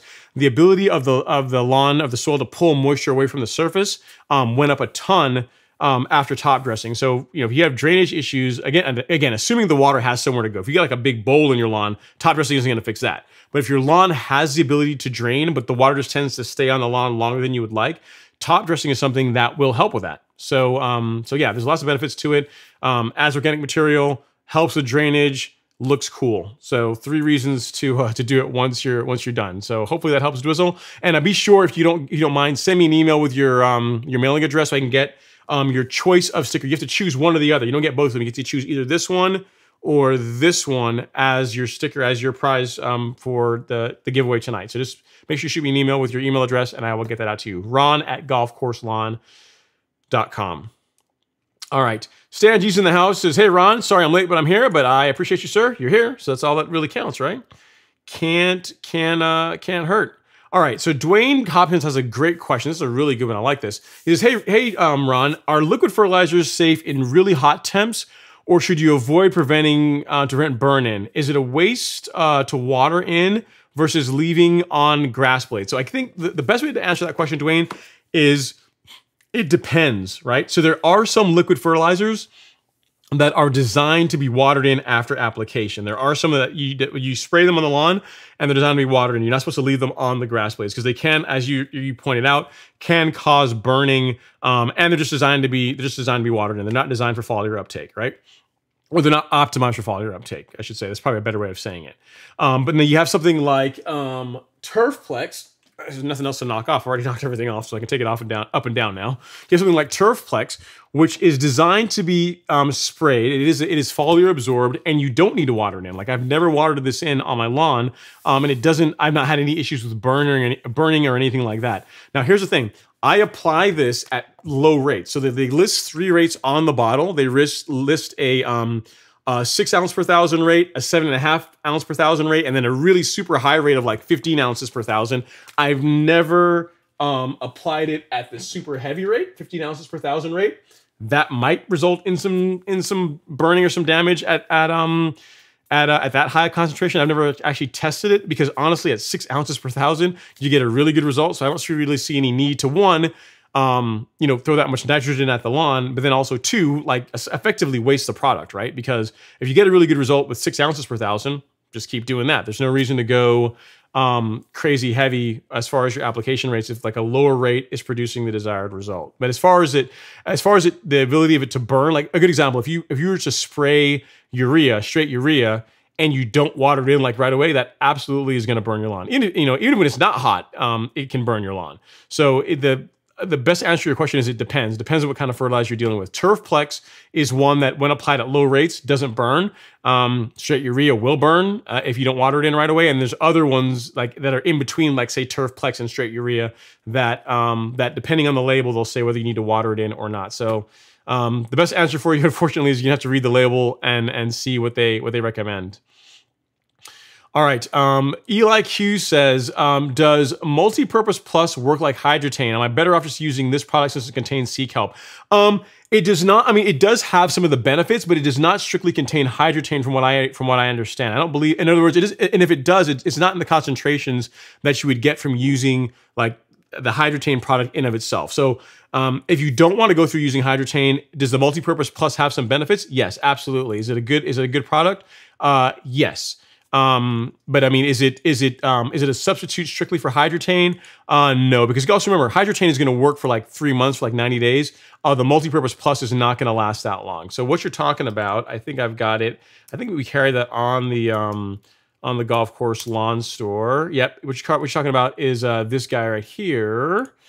Um, yeah, so multi-purpose plus 402 with biostimulants. So yeah, so this has like their C extra in it, I believe um, sea kelp, and some Cytogro. So yes, it's made by the makers of uh, of it. And um, but yeah, as far as it being a substitute for Hydretain, not so much. But um, but it's an excellent product. If you're looking for something that's a that's like a, a, a micronutrient, um, has um, again, like you said, some sea kelp in it, so it's going to be it's going to be beneficial to both um, feeding the lawn, the, the, the turf, and the soil. It's a great product. It's a great option. Um, but if it were me, I would probably do Hydretain and Turfplex um, than that. But if you only do one, that's a good that's a good option. That's a good a good substitute um, as well too. So hopefully that helps us, uh, Eli Q. All right, Skinny Geek says uh, has Caravan cheese skyrocketed in price? I think in one of your videos it mentioned it being seventy dollars, but my local SiteOne has it for one hundred thirty one. Yeah, um, that's that seems that's a little pricey. That seems a little pricey to me, man. That sounds a little bit rich for um for Caravan G. I mean, because SiteOne, the SiteOne has been kind of bad about that here lately on some of like, especially like the the Carbon Pro G as well. They've been jacking up the prices on that too. Uh, at least my local one hasn't been too bad about it, but some other ones have been doing it. Um, but yeah, I'm looking here online. Yeah, even on Amazon, um, it's uh, 137. So maybe maybe the price has gone up since when I I was using it a couple years ago. I mean, I've been talking about it a lot um, in the last last couple of years. So maybe it's one of those things where they're raising the price, you know, to keep up with demand. But uh, but yeah, it looks like Amazon has it for that same price, around 130 something dollars. So maybe uh, they're inflating the price a bit, man. Sorry, sorry about that, um, um, Skinny Geek 10, but it's um, it's a thing. I don't know. Do what? What you prefer, Skinny Geek 1010 or Skinny Geek 10? Because like what you have on on the tail end is like 10 in binary. So I'm just I'm I'm just using 10. It's easier than saying 1010. I'll just keep calling you that until you tell me not to. All right. Um, let's see. Mike Harmold, I get this question every week. He says, um, any good tips for getting rid of moles? I have one area they are just destroying. Um, I may just have to turn it into a mulch bed. So a couple of things. You can you can start um, working to eliminate their food source. If you've got grubs in your lawn, work on eliminating grubs. That's one. That's like one thing you can do. But then also there is a mole poison, a mole bait. I think it's called Talprid. Um, the Talpirid that works that works well against moles too. Um, if I can find you a link for it here. Mole poison. Um, yeah, mole poison worms or tomcat. That's well, yeah. So I think Talpirid is um, makes one too, but this is one that's very, very, very well received. Um, you can get it on Amazon. I'll send you a link here as well because I've, I've, given this to people in the past and they've written back to me and said, yeah, we got really good results with it. So um, let me send that to you here, Mike, at Mike um, Harmold, Harbold so that so you can a multi-pronged approach is really the best way. Get rid of grubs or reduce the amount the grub population in your lawn because that's gonna that's like one of the food sources. Like like moles don't only eat grubs that's one of the things they do eat. So getting so getting rid of that will help but then also using um, a poison a, a, bait like i just linked to you there in the chat um, that will um, that will take care of it. So give that a give that a shot and uh, hopefully that helps. Sorry you're dealing with that man. Don't give up yet. Don't turn into a mulch bed yet. Keep keep fighting for a little bit longer uh, before you give up before you give up the fight. and Alex B says, yeah, no reason not to get over 100 likes for Ron. Free and quick, easy to do. Ron acts for it ever so gently, but it holds up to a good smash. Thanks so much, Alex. I really appreciate that. All right, let's see um, what else we got going on here as far as questions. All right. Yeah, Scott. Yeah, as far as good points on weight versus volume. Thanks, Ron. Yeah, yeah, man, because it, it is a fair point because they might be right. This 25 tons might be right by weight, depending on what they're what they're putting down. But when I say volume, like a cubic yard per thousand square feet, is about the right number. Is about the right number. Um, but um, but yeah. Let's see what else we um see what else we uh we have here as far as questions, as far as questions go. Um, yeah, so yeah, Alex Beats, yeah, because um, regionally SiteOne stores can increase uh, prices over time. Um, but yeah, but yeah, exactly. I mean, and it's the thing too. It's, it's their right to raise prices, right? If, the demand goes up, they can raise um, they can raise prices in their lawn. So nothing really to uh, you know that's just that's just part of that's just this is the par for the course, unfortunately. Especially as um, as, as especially as the demand goes up. All right, um, Travis um, Smith. Uh, Smith. Uh, Travis Smithy has a question about aerating when you have drip installs. Any suggestions for aerating when you have a drip system um, installed? Um, I guess as far as a drip system, I mean, are you talking about like I guess some it's a type of irrigation that you have in the lawn? Um, if you have a way, if at any rate, you have to figure out some way to mark it or to um to uh to mark the areas where it is. I, I have to, send me a picture of what you're talking about, Travis um, because a lot when I'm thinking about drip systems, I think about something that's actually above above ground, not something that's really underground.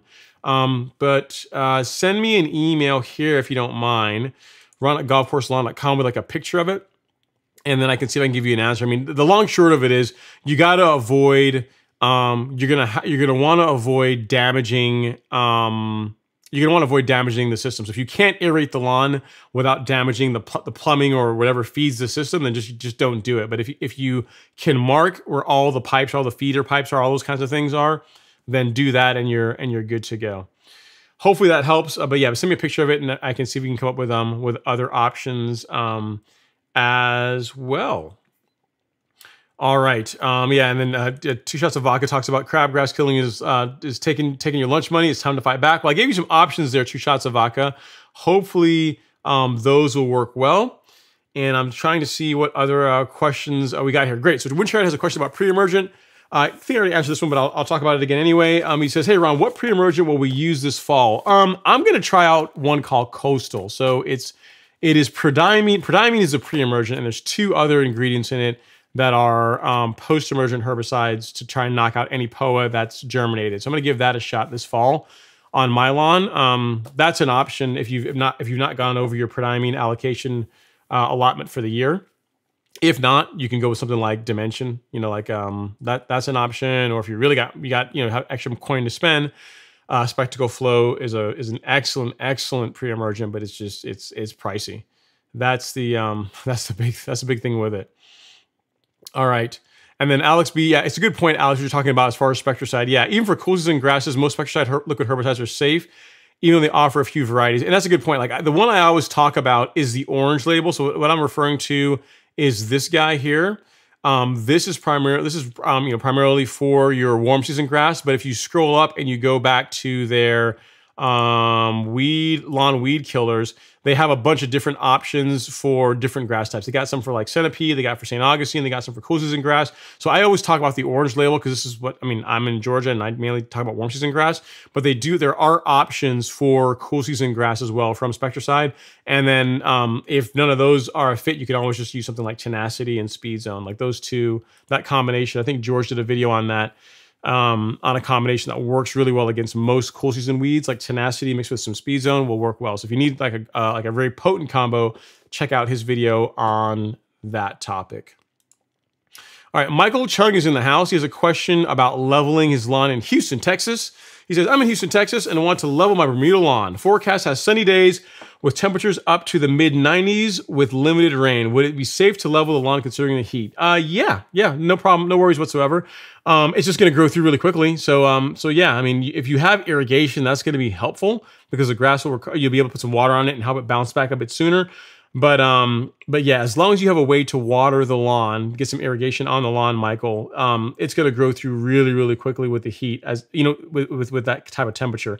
Um, I leveled my lawn earlier this season. I did it like in late April, early May, mainly because I wanted to have some content out for you guys that are good, that are going to be doing it this season to look at. So if you're looking for a video on top dressing, like I've done one here that um, you that like goes into excruciating detail on top dressing, like talks about aerating and um, I mean, you, are probably not going to be overseeding. We talked about aerating, the carbon uh, soil amendments, the fertilization, like everything that you need to do. As by the way, I like to top dress.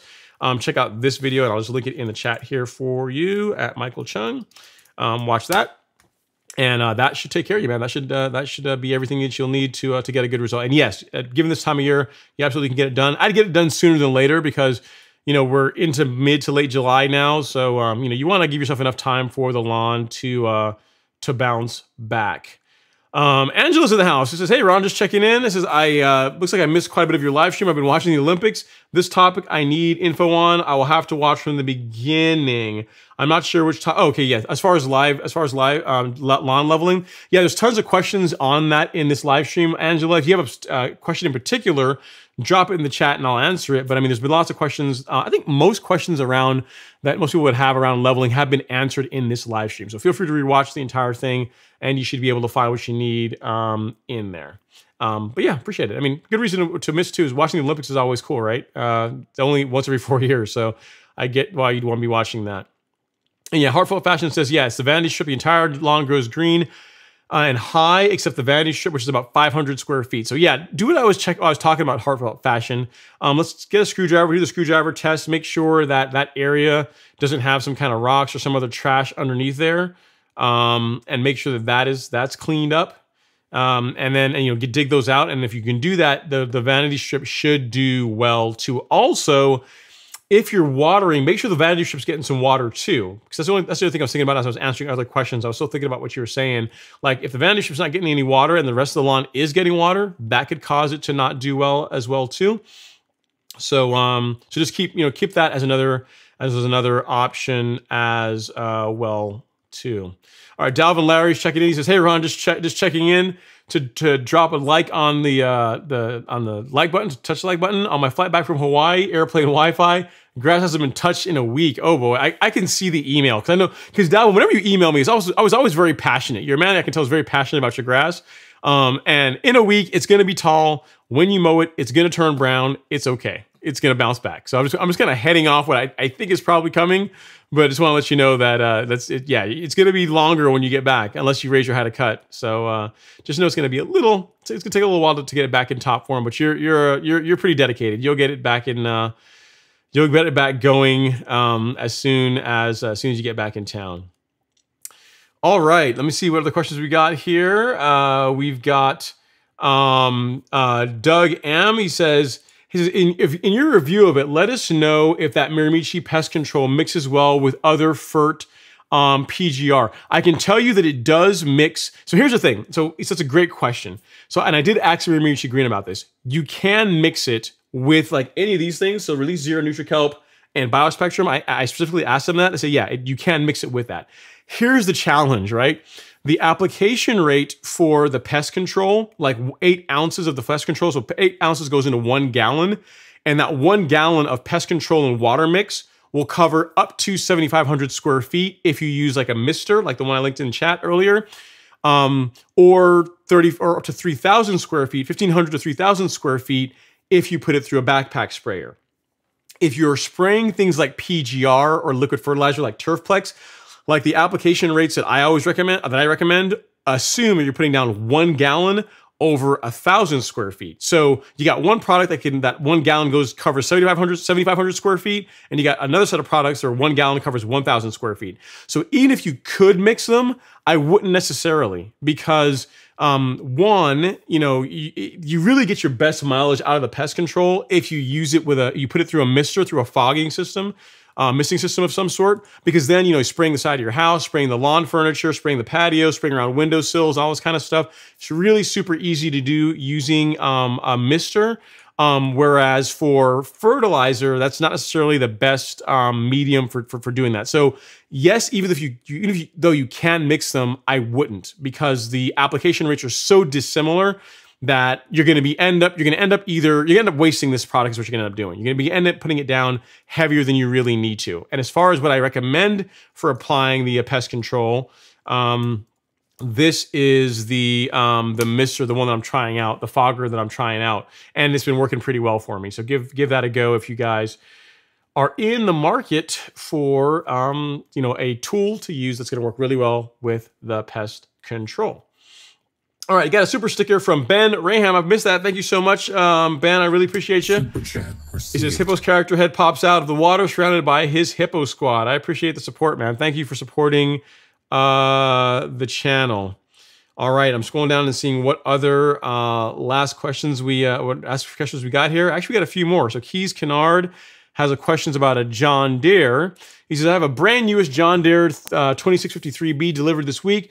Been reel mowing a small portion of the lawn all last season, um, but uh, rotary at two inches for the other uh, 20,000 square feet. Is it too late in the season to scalp to half an inch? No, not really. Mm-mm. No, you, you could scalp to half an inch if you want for the area of the lawn that you plan to maintain. Um, keys. Here's the thing I would say if you scalp the lawn, know that um, scalping is pretty hard on on reel mowers. So you know if you just got it and it, you haven't sharpened it as yet, I would do the scalping first and then take it and you know take it out and get it freshened up and then start using it for your um for your mowing if that makes sense. So um so yeah, just I, I would do that. I, that that's the only thing I'd say. It's not too late in the season to do it, but it is going to be pretty hard on your system on your on your mower, especially if you're going from two inches to half an inch.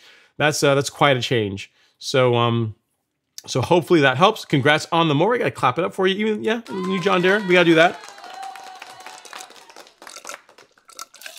Congratulations on the mower, and hopefully that uh, that helps answer your question. All right, so um, yeah, poor Lamont. Hopefully he's here because I know Lamont has been in the live stream before, but I don't see him here now. Um, to tell him to come up to show up and uh, and uh, and and claim his his prize. All right, so um, SMK is chiming in on dismiss. He says dismiss as a pre-emergent has a short half-life. It is sometimes used as pre-emergent to prevent nutsedge at a high rate. Image plus dimension is better at preventing uh, as a better spring pre-emergent with longer life, up to six months of summer weed prevention. So there you go. Thank you so much, SMK. Appreciate the extra um, the extra context uh, to as far as like um you know as far as um uh, half lives of pre-emergent. So thank you, uh, thank you so much. I really, really do appreciate it. Yeah, Alex, I did see Dwizzle earlier. I think he's in the live stream, and hopefully he um he writes, you know, he writes in. If if not, I'll get it to him, man. It's not it's not that um not that big a deal. No problems at all there. All right. Um, we have here Rahul Berman has a question about um, uh, leveling. He says, Hey, Ron, it's running 100 uh, degrees Fahrenheit in Dallas. Is it still okay to do a leveling um, project, spot leveling only? Yeah, yeah, absolutely. I mean, it's in the 90s here in Georgia. It's really hot.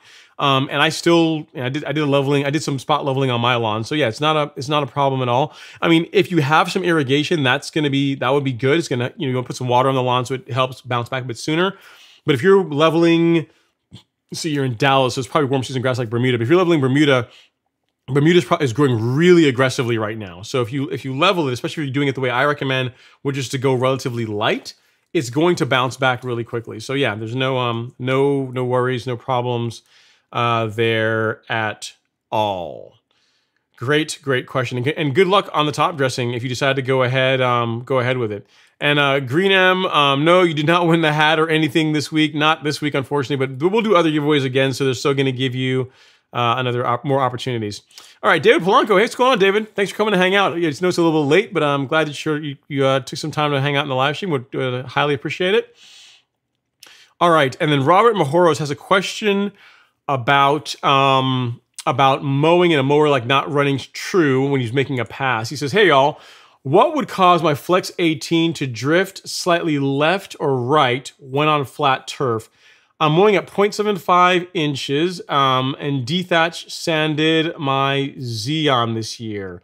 Um, slight left and right. Um, check. I mean, I mean, it's, it's a couple of things. Make sure that um it passes the paper test. Like if one side of if one side of the reel or bed knife is cutting is like sharper, it's cutting cutting paper, and the other side is not.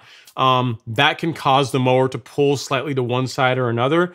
What else could do it? Um that those that's probably the most common thing. I mean, there's other things, but that's that's that's the one I would really I would really go with. You say the turf is flat, and you're saying it's starting to to fishtail a little bit, especially if you've got like a grooved roller on the front of that flex. It shouldn't. It really shouldn't be doing that. I mean, a little bit, a little bit. I mean, yeah, but it shouldn't be like a, a ton of movement. Um, Robert, I, I mean, I, I, you know what? It's kind of like this. This question is not as good without video. I'd have to see how much how slight we're talking here because my mower does move. Even my my uh, my uh, 16 inch um, 1600, it does move slightly a little bit. I mean, as I'm making a pass, if I'm not like, but that's largely from my pressure. Like if I'm, if I'm pushing slightly harder with one hand than the other, that will cause the mower to kind of dance around a bit. But if you're making sure that the pressure you're putting on the mower when you're mowing your pass is even, you're sure you're like you're positive of that. Um, just check to make sure the cutting unit's set up properly and that you're you know that um, it's cutting paper across the the um, the entire um, length of the reel and bed knife. And if that's the case, it's, it's probably it's probably your technique. Probably. I mean, I would check to make sure the pressure when you're putting on the mower when you're making a pass is even because it, with an 18 inch too, it doesn't take that much for it to move just a little bit. So uh, so hopefully uh, that helps. And congrats, man! Congrats on dethatching and sanding your Zeon Zoysia this year. And uh, yeah, I I, uh, I wholeheartedly support the 0.75 inch mowing height. That is, I like I always say, jokingly say that three quarters of an inch is the right height of cut to choose to not have reel mowing mess up your life. So if you're at three quarters of an inch, that is like the sweet spot. It looks awesome to where like like even like lawn care geeks are gonna appreciate you. People in your neighborhood are gonna be like, your lawn looks incredible, and it's not gonna be crazy bad to um to have to um to uh you know to have to, to spend a bunch of time with it. So hopefully uh hopefully that helps. Great question. All right, so yeah, Raider Nation is saying it's very hot here in North Carolina. Please send rain. Grass starting to have heat stress. I, I can only do what I can, man. Um, if you if you haven't put some Hydretain down as yet, Raider Nation, consider doing that. Hydretain can can and does help with um with uh, the grass um, doing better with higher temperatures. But um, yeah, nothing beats Mother Nature with some good rainwater. But if you've not done Hydretain as yet, something you can do to not have to run irrigation like all the time. So uh, so there you go. All right. Um, let's see. Zach Hall's chiming in. He says, let's go 1200. Says, don't water in. I get a burn every time. So I would go lower than what the bottle says um, per thousand. More isn't always better. Yeah. So I, I had to look at the formulation of that. I've not seen the formulation of the, of the Let's Go 1200, like what type of nitrogen is in it. Um, but I can tell you, like the Turfplex, I run that literally at the lowest rate, especially with foliar apps, guys.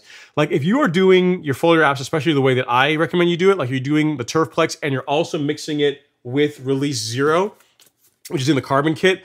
Like this guy is like a supercharger, it's like a catalyst for nutrient uptake. So whereas you know you may have wanted to use a slightly heavier rate if you're not mixing it with like something like release zero, when you're using it, when you're mixing it along with this, which is the way I recommend that you apply it, you absolutely do not need to go heavy. Like like six ounces per thousand works really well. I've even done testing down to four ounces per thousand, and I've gotten good results with that too. So to, to Zach, to echo Zach's point, um, more is not better, especially when it comes to liquid fertilizer. Like liquid fertilizers will bite you if you go too heavy with them. So uh, so yeah, always always go low and work up. You can always add more. It's kind of hard to take it away once you put it down. So there's always that. Uh, Yard Envy, no, you did not win this time, but perhaps next time I'll, I'll be doing more of them in the future. So uh, so yeah, no worries. And then Taylor Ursu says, the menu on my site is not working on mobile, just a heads up. Thanks for letting me know, Taylor. I'll have to take a look at that, figure out what's going on with the uh, with the site. It was it has been working in the past, so I'm not sure what's going on. I'll have to take a look at that. But thank you for letting me know. I appreciate that. I appreciate it. All right. Um, we have another point here from uh, Patrick in Texas. Patrick always asks the best question. He says, What is CarbonizPN? Why do I need it? Where do I get it? Okay, what is CarbonizPN? So CarbonizPN, a great way of of um, of of describing it. The best way is with pictures. So CarbonizPN is essentially it's very much like Essential G. So if you go here, so CarbonizPN is essentially Essential G. It's a combination of biochar and compost.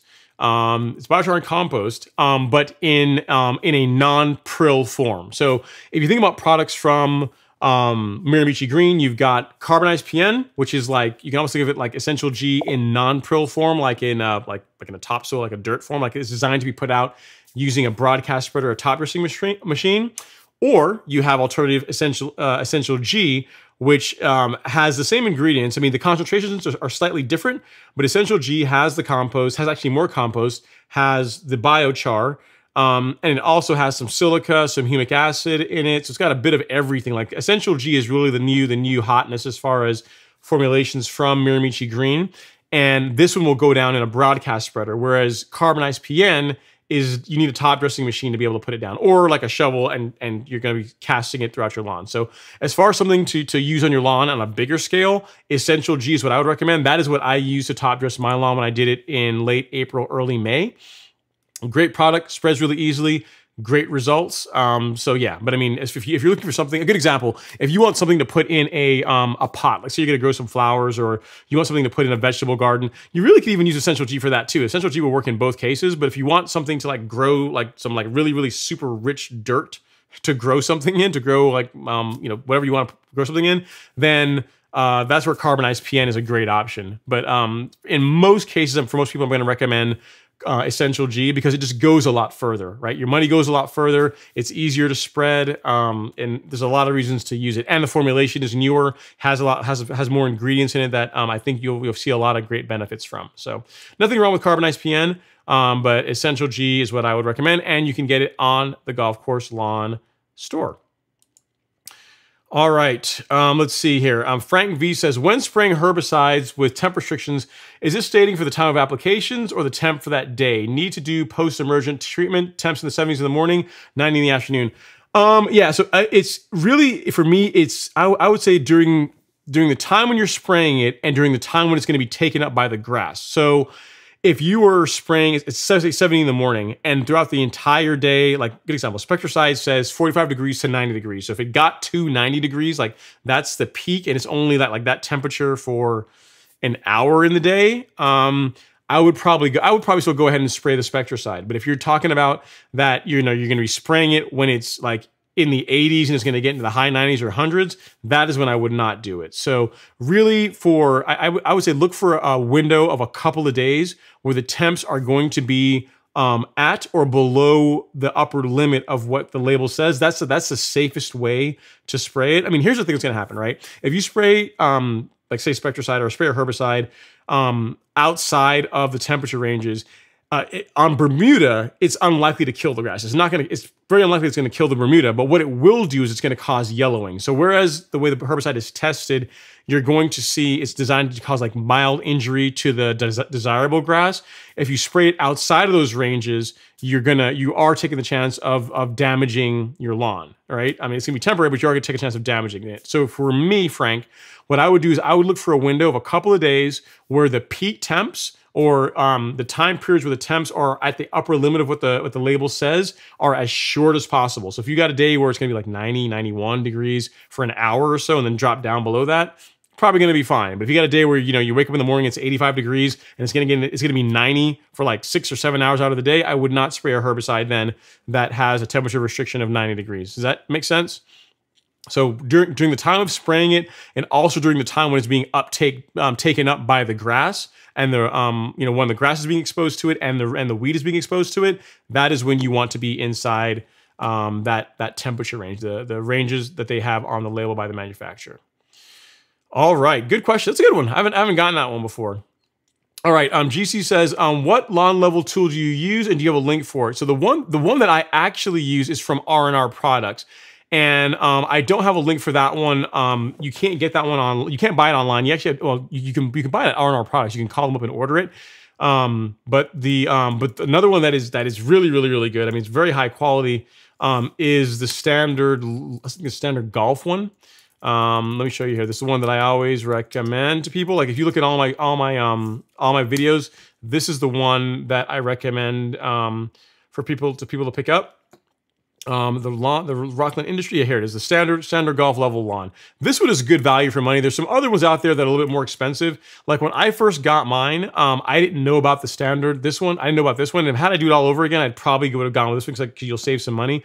The rake that I use is like a hundred and um, 160 170 dollars depending on which on which one you go with this was a little bit um a little bit more economical so let me see at gc yep and then um leveling rake so uh, there you go. That's uh, that's the leveling rig that I I recommend. Um, and if you look at any of my videos, that's the one that you'll you'll see listed in there. All right, Alex B says uh, maybe it's just me, but most of the weed types that I have um, I have have not had the best results with tenacity by itself mixing it with another herbicide like Speed Zone definitely work much better. Yeah, I mean, so I, I, hear that. I hear some people, some people have try tenacity and they sing its praises, and other people um, try it and they don't have good results with it. I think that's why part of like that video that George put out with um, uh, with tenacity and speed zone mixed together, um, that's probably the best of both worlds if you have a cool season lawn. Um, I, I don't have any personal experience with tenacity because I don't have cool season grass, right? I you know so I can't I can't really speak to it. Like all I can say is that it's it's it's a fairly polarizing herbicide. People that people that use it either love it or people use it and they just they're like eh not as good as I thought it would be. So um, but to your point, mixed with some speed zone that tends to uh, to do really well. So uh, thanks for for uh, for chiming in. All right, so Michael Brace says, Hi, Ron. Greetings from South Miami. I have Bermuda um, SS2000. The weeds are killing me. I want to try Speed Zone. What can I combine with it for maximum results? Well, here's the thing. You can you can do like a com combination of Speed Zone and Dismiss, um, but that is going to discolor your lawn. It is. I mean, even Speed Zone, it's going to discolor your lawn. It's gonna it's going to turn it temporarily yellow if you do that. Um, if you want something that's that's a great product, it's going to kill weeds on Bermuda um, and it's not going to discolor your lawn, um, or it's going to, or it's going to be nicer, I should say. I can't say it's not going to discolor it, but it's going to be a lot nicer to your lawn than a speed zone dismiss combo. Then look into something like Celsius. I'm not sure if you already have um, speed zone, but like Celsius is a good option. And I actually got a proper link for it now. Um, that will work really well against a broad spectrum of weeds, grassy weeds and broadleaf weeds, and doesn't have um, a lot of the temperature restrictions that um, some of those ones that you just mentioned have. Um, it's not going to it's not going to damage your lawn in the process. So let me send you a link for that one, Michael. Um, that is what I would use on warm season grass, especially with you being in Miami um, and you know it's as hot as it gets there. That's that's what I would um, that's what I would go with. No worries at all. All right, so Angela has a question about top dressing. She says, My question is Do I mix sand with organic topsoil because I have an uneven lawn? I put weed killer down last week um, and need to wait a few weeks before I level. Just need to know, do I need sand? So, um, so here's the thing, Angela. If your goal is to level, you want to have some sand mixed in with a top dressing mix. So the way to think about it is um, um, organic material like topsoil is a great way to feed the soil but sand helps for structure. So it does a much better job of leveling out uneven areas in the lawn. So topsoil for feeding the soil, sand for structure. So yes, you, you are going to want to use a mixture of sand um, and topsoil if you can get your hands on that.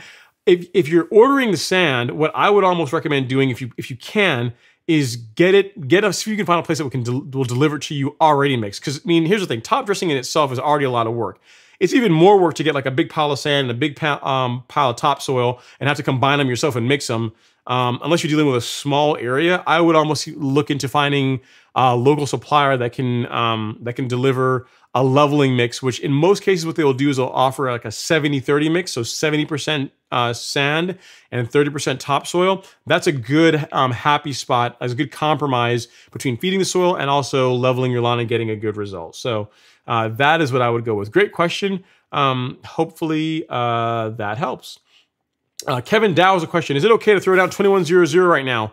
Um, I don't know. Does your lawn need um, need that kind of nitrogen right now? If you if your if your soil test results, um, which you would know by um, you know, using something like that, like the My Soil Test Kit, tells you that your your your lawn is nitrogen deficient, and um, you know 2100 is a good fit for what your lawn needs. So all you need is nitrogen, but you don't need any of the other macros um, then yeah, it could be it could be a good option. But without seeing your soil test results, I, I can't say for sure, um, Kevin. Um, so sorry, I can't give you I can't give you a, a, a an actually like very precise answer because without soil test results, I can't say for sure whether it's going to be the best one. Now, can you put it down? Is it probably going to be okay? Yeah, you're probably going to apply it as long as you go at a low rate. Is it probably going to be fine? Probably. But is it the best? Is it what your your lawn actually needs? Impossible to say without soil test results. So um, hopefully that helps. If you've not gotten a soil test done as yet, the one I would recommend, the one I use and recommend everybody, because one, you get the results easy, they're easy to use, um, and the results are super easy to interpret, is the one from My Soil, this one here. Um, that's what I'd recommend. You, you get it, you send your results out in a week, you're going to have your results back, and you are uh, and you're good to go. So hopefully uh, that that helps. All right. Um, Jason Greenlee is talking about a problem he's having with his lawn after changing the height of cut and some, some browning issues.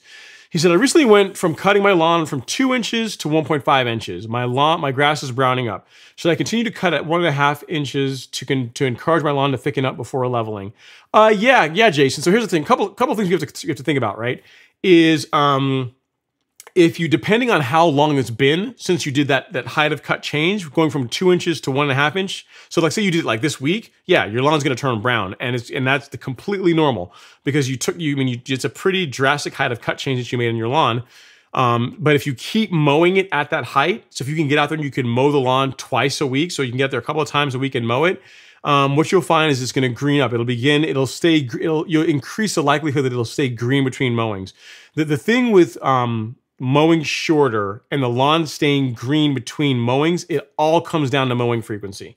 Like literally, the shorter you go, like the little rhyme, a little jingle for you. The, the shorter you go, the more you have to mow. So, um, you know, one and a half inches doesn't isn't terribly demanding. You can probably get by with twice a week with that.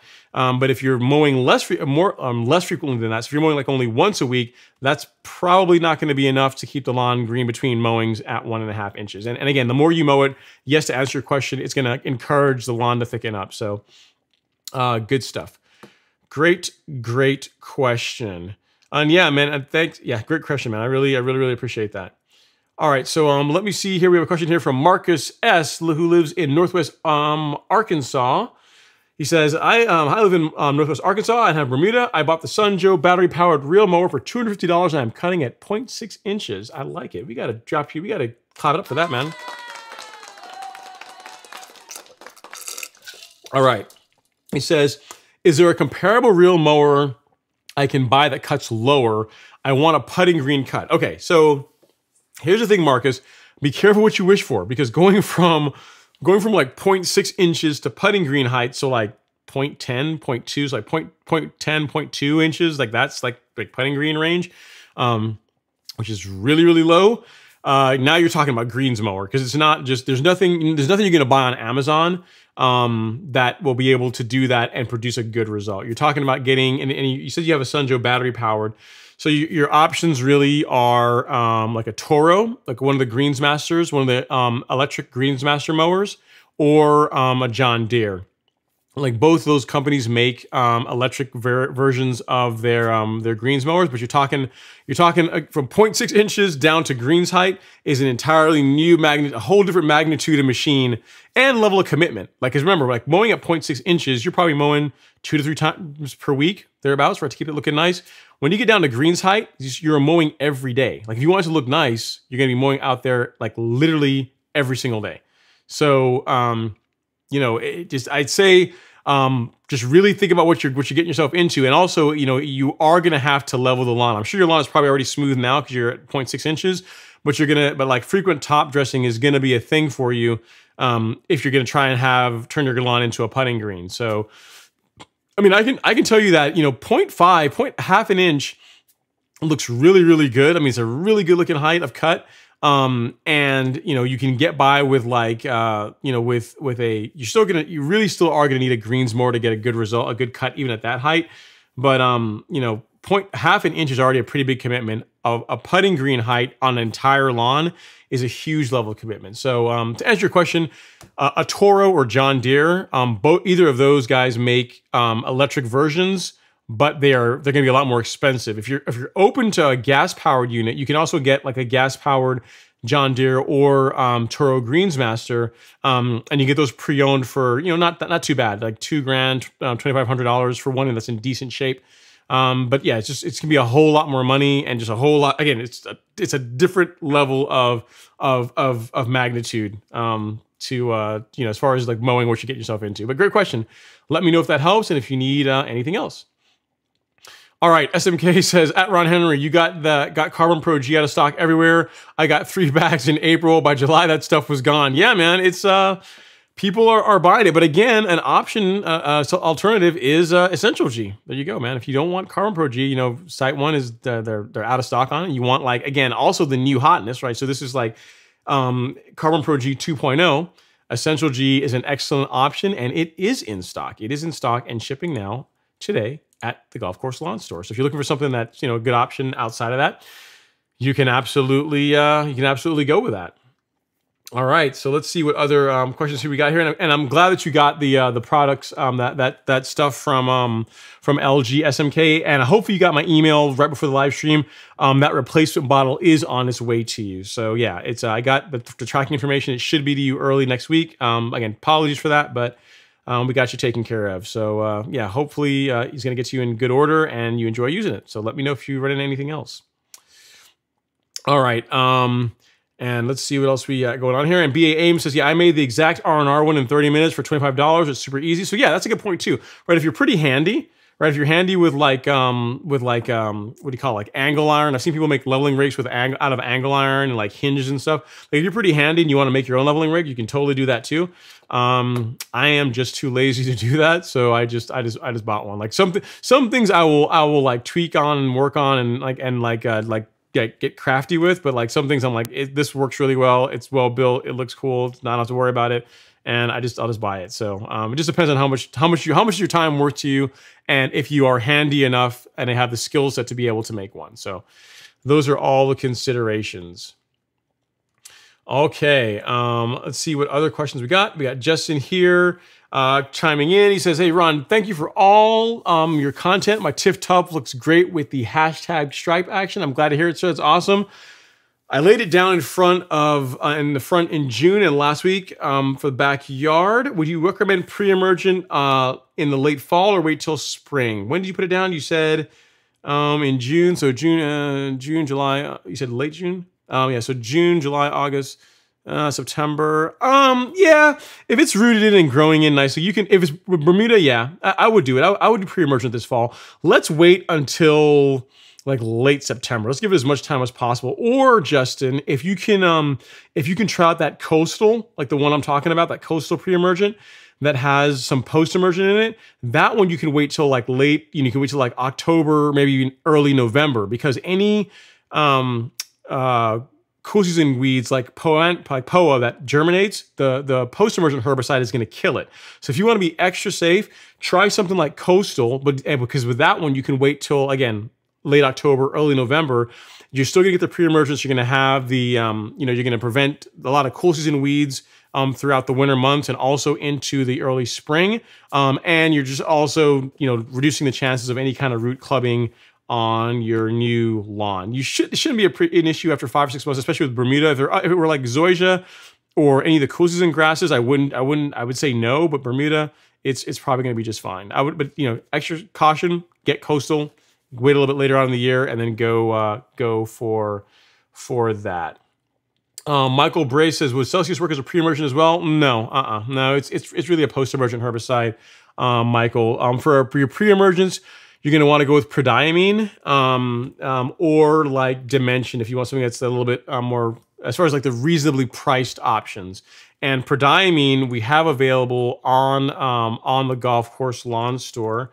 I can um, I can show you that. So you got in a couple different forms. You got it in like the small container, which I had one right here. This guy right here. This is super small. This will cover, I think, memory serves me up to 6,000, five or 6,000 square feet on a Bermuda lawn, a warm season grass lawn. Um, and then you've also got a granular prodiamine if you want prefer something to put down in a drop in a spreader. And then if you got a bigger lawn, you've got this guy, which is like the five pound jug, 80 ounces of prodiamine.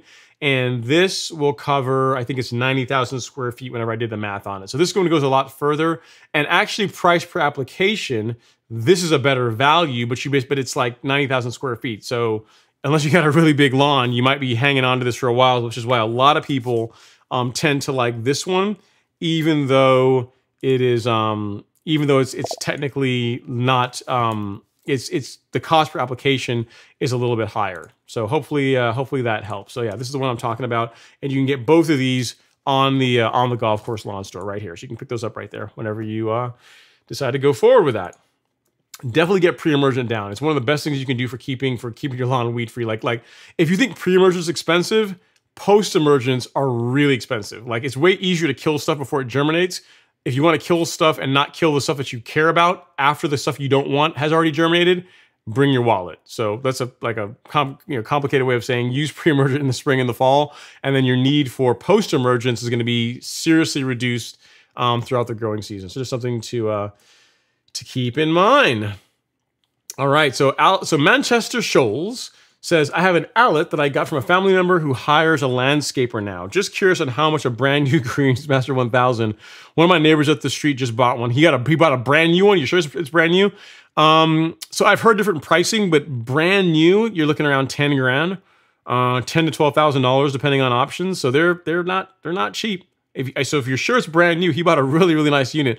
Like I think the Lawn Tools has one of the newer ones that they got from Toro. Um, those are sweet, man. I'd love I'd love to get my hands on one of those. Um, one day, one day. The channel's got to grow a little bit more before I can I can justify one of those, but. Uh, one day. But yeah, if it's brand, if it is in fact brand new, that they're in the ten thousand dollar range. They're in the low five figure range. They're not. They are not cheap uh, units. Great question about fungicide. D Dom says, "Hey Ron, do you plan on putting a fungicide down this fall?" Yes, I am, and I am. I am not dealing with spring dead spot again. This, or I'm gonna do my best to not have to deal with spring dead spot uh, next year. So I am gonna be putting down um, fungicide. I'm gonna be putting down Headway G.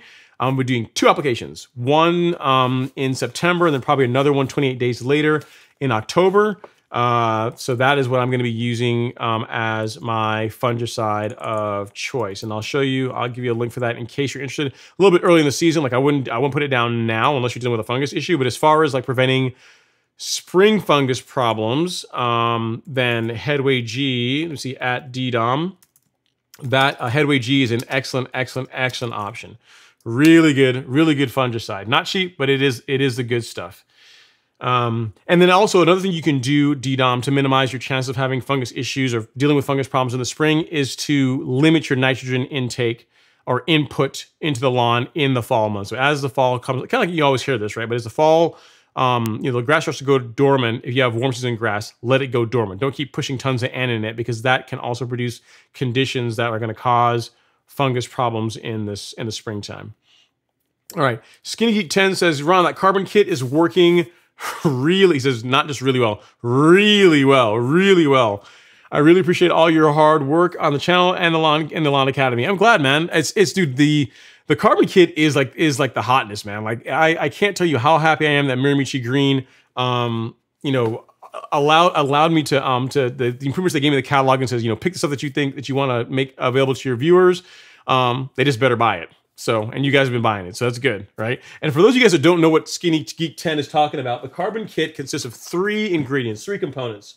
So there is um the first is release zero this is a um, it's 10% micronized carbon, and the way Mirimichi Green describes it as a as a catalyst. What this does is going to enhance the performance. It's going to enhance the foliar uptake of anything you mix with it. In addition to this, the 10% um, carbon is going to also feed the soil too. So this has got tons of benefits to it. This mixed with any kind of with your fertilizers, your pesticides, fungicides, um, if you're spraying them, this is awesome stuff. It mixes well with all those things.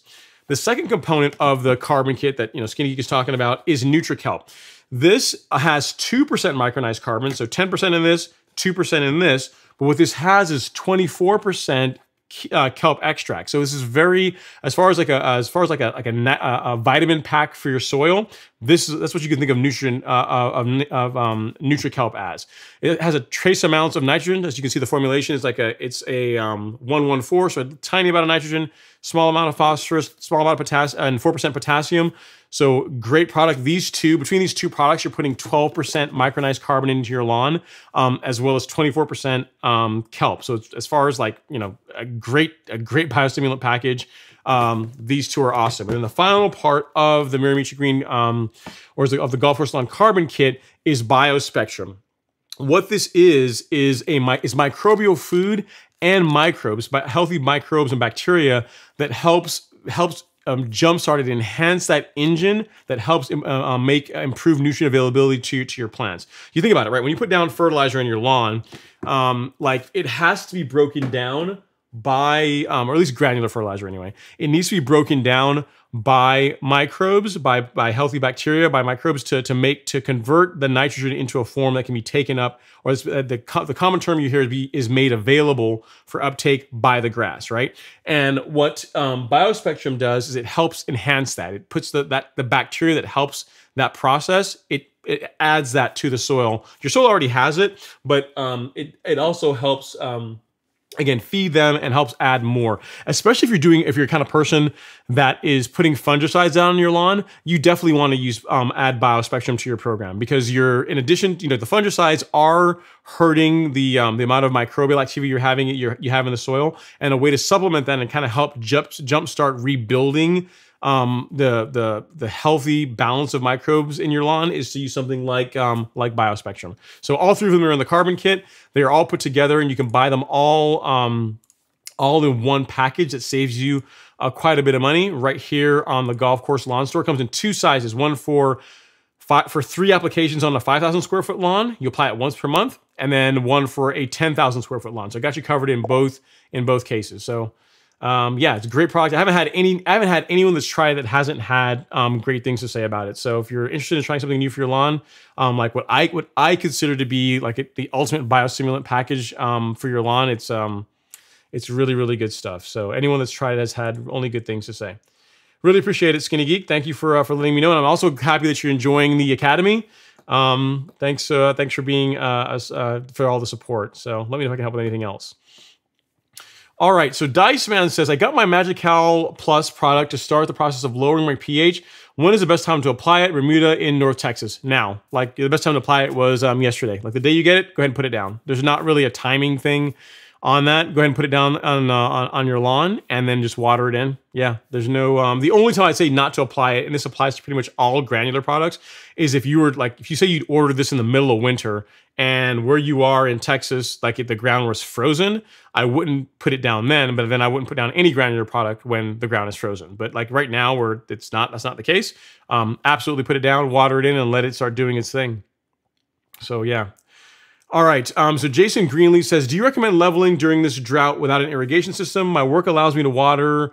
um, in the morning and evening. Yeah, yeah, that's fine, man. I mean, J Jason, as far as uh, as far as um, watering goes, as far as watering and top dressing, really what I recommend really is, is only um, like doing I wouldn't say even heavy watering, but like do, like doing some supplemental watering for the first few days after top dressing. It's really strictly not even necessary for you to really do a lot of extra watering as part of your top dressing program. I mean, it can be it can help, but I will send you this video here that I did that literally talks about, um, I already linked it in the chat earlier, but it literally is, is the answer specifically to the question you're asking about what to do after top dressing.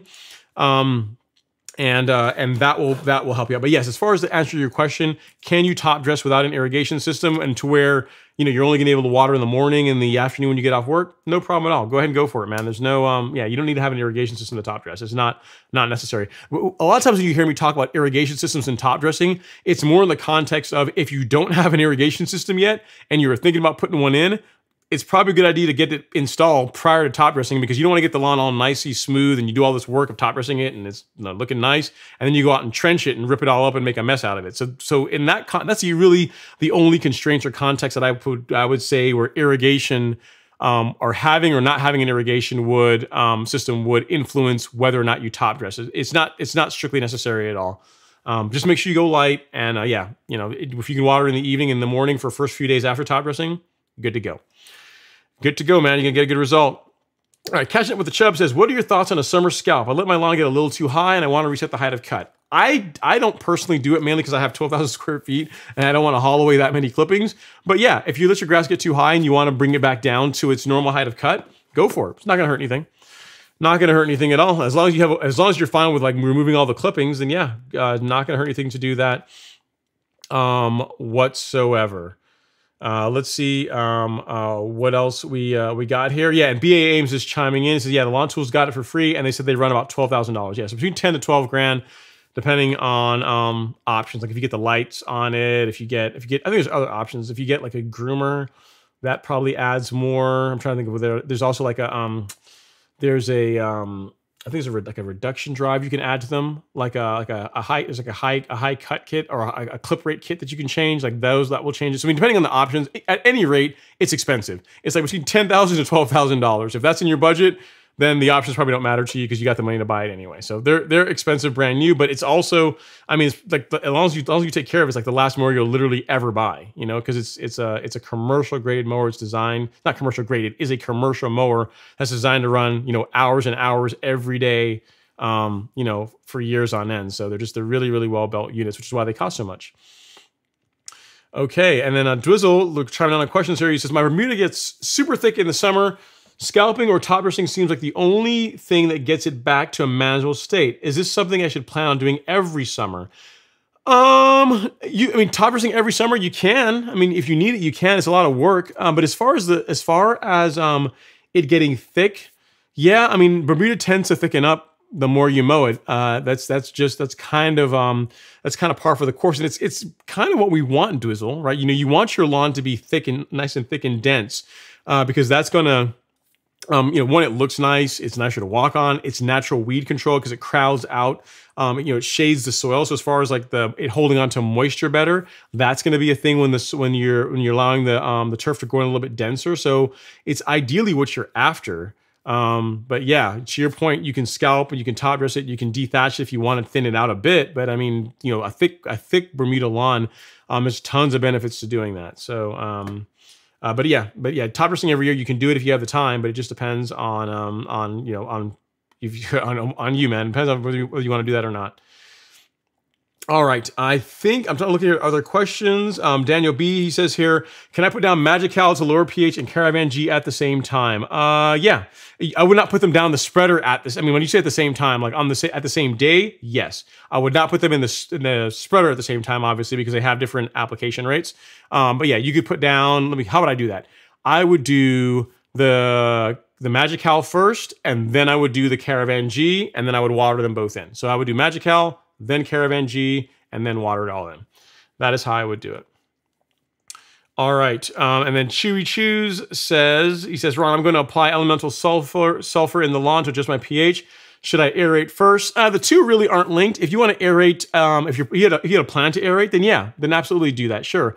I mean, it's going to help. It's going to help fast track getting some of it into the soil, which is what we want. So yeah, I mean, the after aeration is the perfect time to top dress, to fertilize, to do a carbon soil amendment. I mean, there's, there's, I mean, aeration is literally the time. If you want to, if there's something you want to add to your lawn that needs to get into the soil after aerating, is the time uh, is the time to do it. Uh, let's see. Um, SMK has a question. He says, Ron, are you going to mix fungicide with your fall pre-emergent? Spring dead spot preventing needs to be watered in deep so the turf could take it up via the roots. Um, so no, I'm not gonna. I'm, I'm going to use uh, the. I'm going to use granular um, SMK because I'm going to be using um, Headway. A couple. I'm going to do a couple applications of Headway. Um, one in September, probably another one in October. Um, like once temps start, um, soil temps start getting below 70, as when I'm as when I'm planning to start doing my, my applications. Because the pre-immersion I'm planning to use, I'm not going to apply I'm thinking until Octoberish, right? So I want, but I and I want to get the fungicide down a little sooner than that. So to your point, I if I were going to go liquid, I could mix some and save myself some time. Um, but yeah, because of the, the, the timing of when they're going to go down, I'm going to be going granular for the um, fungicide and liquid for the pre-emergent. So uh, hope uh, that helps. Um, let's see. And Dean Hell says, I'm, I'm, trouble, I'm finding trouble finding a Bermuda source in Southeast Virginia. Do you have a recommended source? Not really. Um, I don't I don't know on that one, man. I'm not I'm not sure on on um, Bermuda in Southeast Virginia. I mean, I would say like Bermuda grass or Bermuda sod, your city, and see what pops up into Google. That's probably gonna be the best your best bet. I'm not I'm not sure on that one, unfortunately. All right, um, Eric Newton, I think has our last question of the evening. He says, "Ron, what's up?" What's up, uh, Eric? He says, uh, I did a summer scalp and top dress my Bermuda about three weeks ago. Some spots are taking forever to fill in. Um, should I remove a little top dressing? Um, well, th well, three weeks. Okay, no, okay. If it's if it's your if it's only been three weeks, um, no, I wouldn't. I mean, again, remember the first time I top dressed my lawn, the very first time, it was like it's like five weeks before the entire lawn grew in. So the first top dress it tends to take a little longer, especially if you went heavier, which it sounds like you went a little heavy. Um, it's gonna take a little bit longer, but yeah, three weeks. I mean, in my case, where you, where you see me top dress my lawn now, and like literally within a couple of weeks, the grass has grown in, and you can't even tell it was top dress. That's because one, I'm going super light, so I'm not I don't have any really crazy heavy spots. Um, so that's why it grows in faster. But the first time I did it, it was a lot longer. It took a lot longer for the grass to grow through, and three weeks honestly is not you know that's not too long. That's not I mean that's not um that's not a reasonable amount of time. Um, if you tell me you get to like like two months, like you know six eight weeks, and it's still not growing through, or it's not spreading in, then we might want we might look at um, removing some of it. But I mean, I, I would give it some more time. Give it let's let's do this, Eric. Give it another two weeks. Um, and if within the next two weeks you're not seeing like a measurable improvement where the grass is beginning to spread into it or the grass is growing through it, then you can consider um, moving, removing some. But I think you're going to be just fine. Just give it a little bit more time. I think it's going to grow in. Three weeks isn't quite enough time uh, especially if it's the first time you top dress, and if you went a little bit heavier in those areas where the grass is not growing in um, as yet. Um, but good, good question. All right, um, Brian Woods has a follow up question on the ammonium sulfate as a as a as a source of nitrogen. He says, follow up question. I says, uh, Ron, uh, my pH is high, NPK is low. How would you incorporate a triple twenty with ammonium sulfate, um, or would you not? Thanks. I probably wouldn't. I probably, well, I mean, it, it, depends on what you're doing, man. I mean, if, if you want, here's the thing. You, ammonium sulfate is a great way to add to lower pH while also adding nitrogen. Another um, option for lowering pH um, is to use something like citric acid, right? Like if you look at um, the My Soil channel, like they're the Soil Lab channel, I don't know if I got that one up here. I may have it. I think I, I think I do. If I have the video, I can I can send to you. But Soil Lab has done some testing. Oh yeah, here we go. This is it right here. And um, this this is the, this is the first video in this series. But watch this video, and they're going to show you some options for um, altering soil pH, both um, for low, in case you don't have this problem, for acidic soil and for alkaline soil. But um, watch this, and um, another option you might want to look into is um, citric acid because that's another way of lowering pH. Um, to my knowledge, citric acid doesn't have any measurable amounts of nitrogen in it, and that would allow you to then use your 20, your triple 20 to take care of the other macros. So if you're just trying to, you want to just lower your pH while also being able to give, put a, a balanced fertilizer down that that um, better suits what the soil needs from a macro standpoint, go with citric acid and then your triple 20 and then just like forego the ammonium sulfate. But then but check out that video. I just put a video there in the chat i linked you to to you um, from soil lab. Um, the guys at my soil are the ones that run the lab so it's really really cool research they're doing and i think they've already done one update. So this video that i sent you is the, is the first one. Um, what'll probably show up afterwards is their first update, and they'll show you the results of them using um, like elemental uh, ammonium sulfate or. I think they did elemental sulfate um, and they did citric acid. So, so one of those two is what you might want to try instead of ammonium sulfate uh, to lower your pH. Very, very, very good. Very good stuff. All right. Yeah, and SMK, I will let you know, man. He says, Ron, let me know how the coastal works. I mix my own version of coastal every year, but replace image with monument. Cool, man. Yeah, I'll let you know, man. I'll definitely, I'll definitely keep you posted. You guys will all know how it, uh, how it works. Well, guys, I think that's it. I think that's all the questions we have for this evening. The hotspot held out, so yay for technology. Um, unfortunately, this this this live stream was not in 4K; it was in HD. But I think you guys will forgive me for that. Um, we got through it. Um, congratulations to all the winners. I will look through my email once I get off this live stream. Again, as far as the winners, LG, you're the winner of the Stripe Action sticker. Um, Dwizzle or Lamont and or Lamont, um, you guys won um, this, the live stream um, sticker, one, of one or two, one of these. So pick your, make your choice. Um, the hand weeding tool went to Super TA. So Super TA send me an email with your mailing address, and I will get this out to you. And then the one of two limited edition um, Ron Henry camo, or do you call it desert tan hat? Uh, goes to Princess Cut Lawn Care. So George, if you wouldn't mind, sir, send me a text with your um, email address or phone or email it to me um, your mailing address, and I'll get that out to you as well. Guys, thank you so much for watching. If you guys have not yet, give me a like on the way out. If you guys mind touching that like button ever so gently, I'd really appreciate it. It does a lot for the channel to help grow things. If you're not yet a subscriber, please consider subscribing. In addition to the live stream, I try to put out content at least once a week.